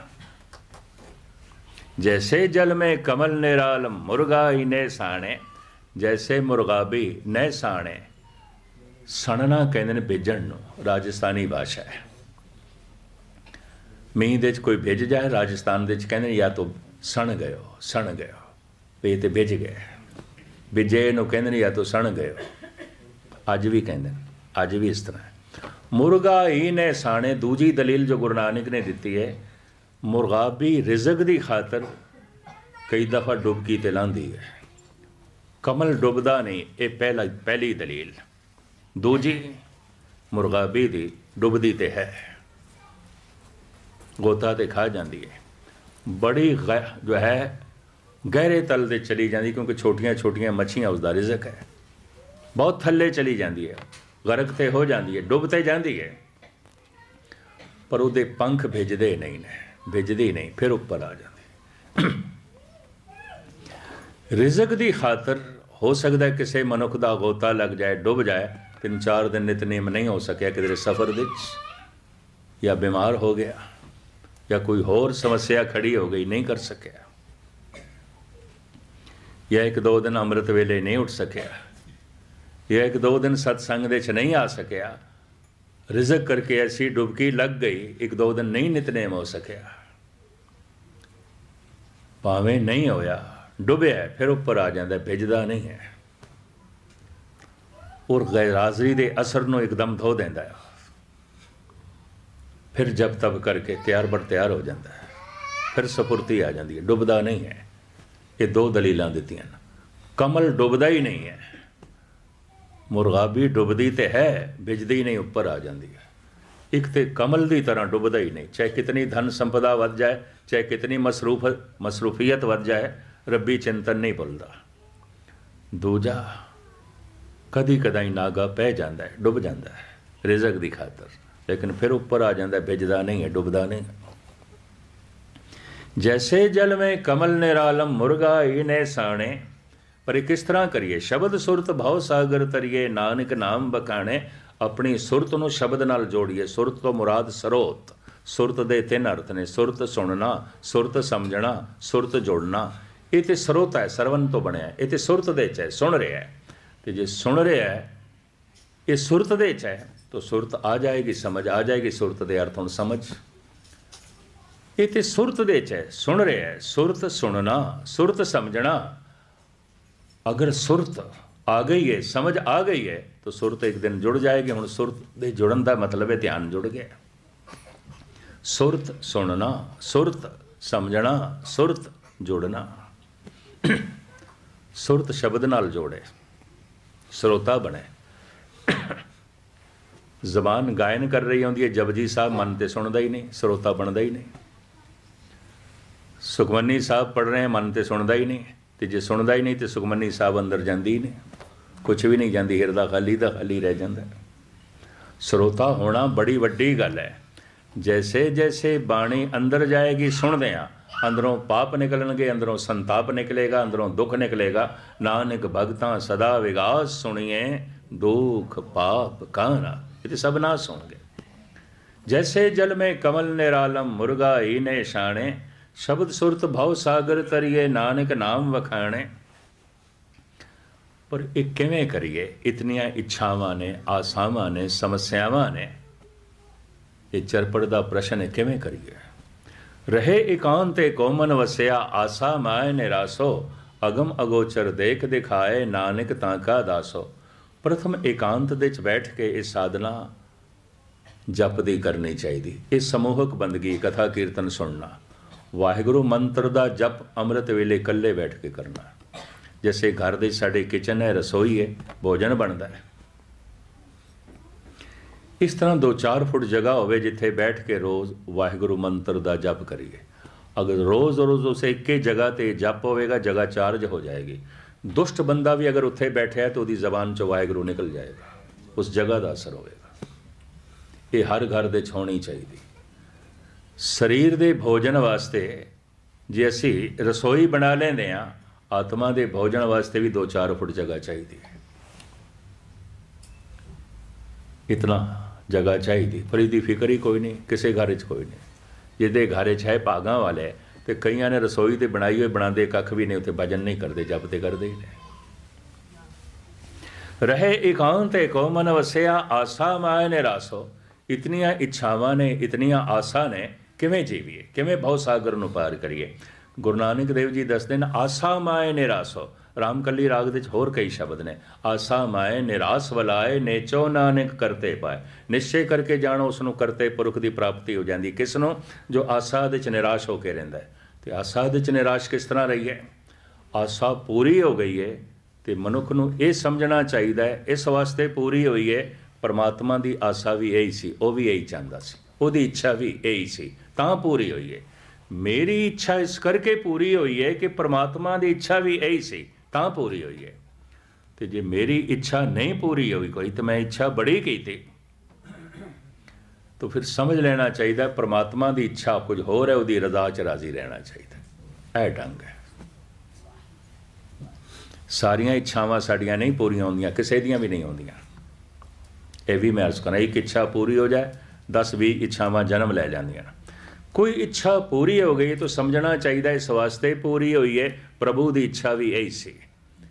ਤੇ ਜੇ ਇੱਛਾ ਨਹੀਂ ਪੂਰੀ ਹੋਈ ਤੇ ਪ੍ਰਮਾਤਮਾ ਦੀ ਰਜ਼ਾ ਕੁਝ ਹੋਰ ਹੈ। ਉਹਦੀ ਇੱਛਾ ਕੁਝ ਹੋਰ ਹੈ, ਤਾਂ ਉਹਦੀ ਰਜ਼ਾ ਦੇ ਚ ਰਾਜ਼ੀ ਹੋ। ਇਹ ਤੇ ਕਸਵੱਟੀ ਹੈ। ਮੈਨੂੰ ਕੈਲੀਫੋਰਨੀਆ 'ਚ ਇੱਕ ਬੰਦਾ ਮਿਲਿਆ, ਕਹਿਣ ਲੱਗਾ, ਮੇਰਾ ਤੇ ਕੋਈ ਭਰੋਸਾ ਨਹੀਂ ਰਿਹਾ। ਮੈਂ ਕਿਹਾ, ਕਿਉਂ? ਕਹਿੰਦਾ, ਅਖੰਡ ਪਾਠ ਰਖਾਇਆ ਸੀ। ਲੰਗਰ ਤੇ ਹਜ਼ਾਰਾਂ ਡਾਲਰ ਖਰਚ ਕੀਤੇ ਨੇ। ਗੁਰਦੁਆਰੇ ਦਾ ਸਾਜ਼ੋ ਸਮਾਨ ਵੀ ਬਣਾ ਕੇ ਦਿੱਤਾ ਹੈ। ਸੁੰਦਰ ਸੁੰਦਰ ਕਾਲੀਨ ਵੀ ਲਿਆਂਦੇ ਨੇ। ਭਾਂਡੇ ਲਿਆਂਦੇ ਨੇ। ਲੰਗਰ ਚਲਾਇਆ। ਖੰਡ ਪਾਠ ਦਾ ਖਰਚਾ ਕੀਤਾ। ਪਰ ਅਸੀਂ ਤੇ ਮੁਕਦਮੇ 'ਚ ਹਾਰ ਗਏ। ਸਾਡੀ ਦੀ ਇੱਛਾ ਪੂਰੀ ਨਹੀਂ ਹੋਈ। ਸਾਡੀ ਤੇ ਸ਼ਰਧਾ ਹੀ ਨਹੀਂ ਰਹੀ। ਇਹਦਾ ਇਹ ਮਤਲਬ ਹੈ, ਪ੍ਰਮਾਤਮਾ ਦੀ ਇੱਕੋ ਹੀ ਡਿਊਟੀ ਹੈ, ਸਾਡੀਆਂ ਇੱਛਾਵਾਂ ਪੂਰੀਆਂ ਕਰੇ। ਕਤਈ ਨਹੀਂ, ਸੰਸਾਰ ਦੇ ਵਿੱਚ ਪ੍ਰਮਾਤਮਾ ਦੀ ਇੱਛਾ ਚੱਲਦੀ ਹੈ। ਸਾਡੀ ਇੱਛਾ ਨਹੀਂ ਚੱਲਦੀ ਨਹੀਂ ਚੱਲਦੀ। ਅਗਰ ਕੋਈ ਬੱਚਾ ਇਹ ਆਖੇ, ਮੈਂ ਜਵਾਨ ਨਾ ਹੋਵਾਂ ਉਹ ਤੇ ਹੋਵੇਗਾ। ਅਗਰ ਕੋਈ ਜਵਾਨ ਇਹ ਆਖੇ, ਮੈਂ ਬੁੱਢਾ ਨਾ ਹੋਵਾਂ ਹੋਵੇਗਾ। ਅਗਰ ਕੋਈ ਬੁੱਢਾ ਇਹ ਆਖੇ, ਮੈਂ ਨਾ ਮਰਾਂ ਮਰੇਗਾ। ਕਿਸ ਤਰ੍ਹਾਂ ਮਨੁੱਖ ਦੀ ਇੱਛਾ ਚਲੇਗੀ? ਇੱਛਾ ਉਸੇ ਦੀ ਚੱਲਦੀ ਹੈ। ਅਗਰ ਮੇਰੀ ਕੋਈ ਇੱਛਾ ਪੂਰੀ ਹੋ ਗਈ ਹੈ ਤੇ ਇਸ ਵਾਸਤੇ ਹੋਈ ਹੈ, ਪ੍ਰਮਾਤਮਾ ਦੀ ਇੱਛਾ ਵੀ ਇਹੀ ਸੀ। ਤੇ ਜੇ ਕੋਈ ਨਹੀਂ ਹੋਈ ਤੇ ਉਹਦੀ ਇੱਛਾ ਕੁਝ ਹੋਰ ਹੈ, ਉਹਦੀ ਰਜ਼ਾ ਚ ਰਾਜ਼ੀ ਰਹਿ। ਇਹਨੂੰ ਕਹਿੰਦੇ ਨੇ ਬਾਣਾ ਮੰਨਣਾ ਪਾਣੇ ਵਿੱਚ ਕੋ ਵਿਰਲਾ ਆਇਆ। ਰਹੇ ਇਕਾਂਤੇ ਕੋ ਮਨ ਵਸਿਆ, ਆਸਾ ਮਾਏ ਨਿਰਾਸੋ। ਅਗਮ ਗੋਚਰ ਦੇਖ ਦਿਖਾਏ, ਨਾਨਕ ਤਾਂ ਕਾ ਦਾਸੋ, ਐ ਚਰਪਟ। ਕੋਈ ਖਾਹਿਸ਼ ਪੂਰੀ ਹੋ ਗਈ ਤਾਂ ਸਮਝ ਲੈਣਾ, ਪ੍ਰਭੂ ਦੀ ਇੱਛਾ ਵੀ ਇਹੀ ਸੀ। ਧੰਨਵਾਦ ਕਰਦੇ ਹਾਂ। ਤੇ ਜੇ ਇੱਛਾ ਨਹੀਂ ਪੂਰੀ ਹੋਈ ਤੇ ਹੱਥ ਜੋੜ ਕੇ ਕਹਿ ਦੇਂ हे ਪ੍ਰਭੂ, ਮੈਂ ਤੇਰੀ ਰਜ਼ਾ ਚ ਰਾਜ਼ੀ, ਜੋ ਤੇਰੀ ਇੱਛਾ ਠੀਕ। ਅਧਾਰਮਿਕ ਹੈ ਉਹ ਬੰਦਾ, ਜੋ ਇਹ ਆ ਕੇ ਪ੍ਰਮਾਤਮਾ ਤੂੰ ਆਪਣੀ ਇੱਛਾ ਇੱਕ ਪਾਸੇ ਰੱਖ, ਮੇਰੀ ਪੂਰੀ ਕਰ। ਧਾਰਮਿਕ ਹੈ ਉਹ ਬੰਦਾ, ਕਹਿੰਦਾ हे ਪ੍ਰਭੂ, ਤੂੰ ਮੇਰਾ ਮਨ ਐਸਾ ਬਣਾ, ਤਾਕਤ ਦੇ ਕਿ ਮੈਂ ਤੇਰੀ ਰਜ਼ਾ ਦੇ ਚ ਰਾਜ਼ੀ ਰਹਾਂ ਜੋ ਤੇਰੀ ਇੱਛਾ ਹੈ, ਉਹ ਮੈਨੂੰ ਚੰਗੀ ਲੱਗੇ। ਇਹ ਢੰਗ ਹੈ, ਇਹ ਤੌਰ ਤਰੀਕਾ ਹੈ। ਪਰਮਾਤਮਾ ਦੀਆਂ ਇੱਛਾਵਾਂ ਕਈ ਦਫਾ ਸਾਡੀਆਂ ਇੱਛਾਵਾਂ ਨਾਲ ਮੇਲ ਨਹੀਂ ਖਾਂਦੀਆਂ। ਫਿਰ ਤੇ ਸ਼ਰਧਾ ਨੂੰ ਬਣਾ ਕੇ ਰੱਖਣਾ ਬੜਾ ਔਖਾ ਹੋ ਜਾਏਗਾ, ਵਿਸ਼ਵਾਸ ਨੂੰ ਬਣਾ ਕੇ ਰੱਖਣਾ ਔਖਾ ਹੋ ਜਾਏਗਾ। ਧੰਨ ਗੁਰੂ ਨਾਨਕ ਦੇਵ ਜੀ ਨੇ ਚਰਪਟਨਾਥ ਨੂੰ ਸਮਝਾਇਆ, ਲਹਿਰਾਂ ਨੂੰ ਦੇਖ ਕੇ ਬੇੜੀ ਰੋਕਣੀ ਨਹੀਂ ਚਾਹੀਦੀ ਹੈ ਬੰਦਾ ਸੋਚੇ ਲਹਿਰਾਂ ਸ਼ਾਂਤ ਹੋਣ ਤੇ ਫਿਰ ਬੇੜੀ ਠੇਲਾਂਗੇ। ਨਹੀਂ, ਚੱਪੂ ਮਾਰਨਾ ਆਰੰਭ ਕਰ ਦੇ। ਬੇੜੀ ਜਿਉਂ ਚੱਲਣੀ ਸ਼ੁਰੂ ਹੋਵੇਗੀ, ਲਹਿਰਾਂ ਆਪਣੇ ਆਪ ਕੱਟਦੀਆਂ ਜਾਣਗੀਆਂ। ਰਸਤਾ ਮਿਲਦਾ ਜਾਏਗਾ। ਭਾਵੇਂ ਸਮੱਸਿਆਵਾਂ ਨੇ। ਭਾਵੇਂ ਅਨੰਤ ਤਰ੍ਹਾਂ ਦੀਆਂ ਸਮੱਸਿਆਵਾਂ ਨੇ, ਪੁਰਖਾ ਤੂੰ ਜਪ ਆਰੰਭ ਕਰ ਦੇ, ਲਹਿਰਾਂ ਦੇ ਚੋਂ ਤੇਰੀ ਜ਼ਿੰਦਗੀ ਲੰਘ ਕੇ ਪਾਰ ਹੋ ਜਾਏਗੀ ਔਰ ਤੈਨੂੰ ਪਰਮ ਆਨੰਦ ਦੀ ਪ੍ਰਾਪਤੀ ਹੋ ਜਾਏਗੀ। ਕਮ ਸੇ ਕਮ ਸੈਂਕੜੇ ਸਵਾਲ ਨੇ, ਸਿੱਧਾਂ ਦੇ ਸੈਂਕੜੇ ਜਵਾਬ ਨੇ, ਗੁਰੂ ਨਾਨਕ ਦੇ ਅਗੰਮੀ ਬਾਣੀ ਹੈ, ਫਿਰ ਕਦੀ ਨਦੀ ਨਾਉ ਸੰਜੋਗੀ ਮੇਲੇ ਹੋਏ ਤੇ ਸਤਿਗੁਰ ਦੀ ਇਸ ਮਹਾਨ ਕਲਾ ਨੂੰ, ਕਲਾਤਮਕ ਬਾਣੀ ਨੂੰ ਤੁਹਾਡੇ ਸਾਹਮਣੇ ਖੋਲਣ ਦੀ ਨਿਮਾਣੀ ਕੋਸ਼ਿਸ਼ ਕਰਾਂਗੇ, ਇਤਨਾ ਹੀ ਸਮਾਂ ਸੀ।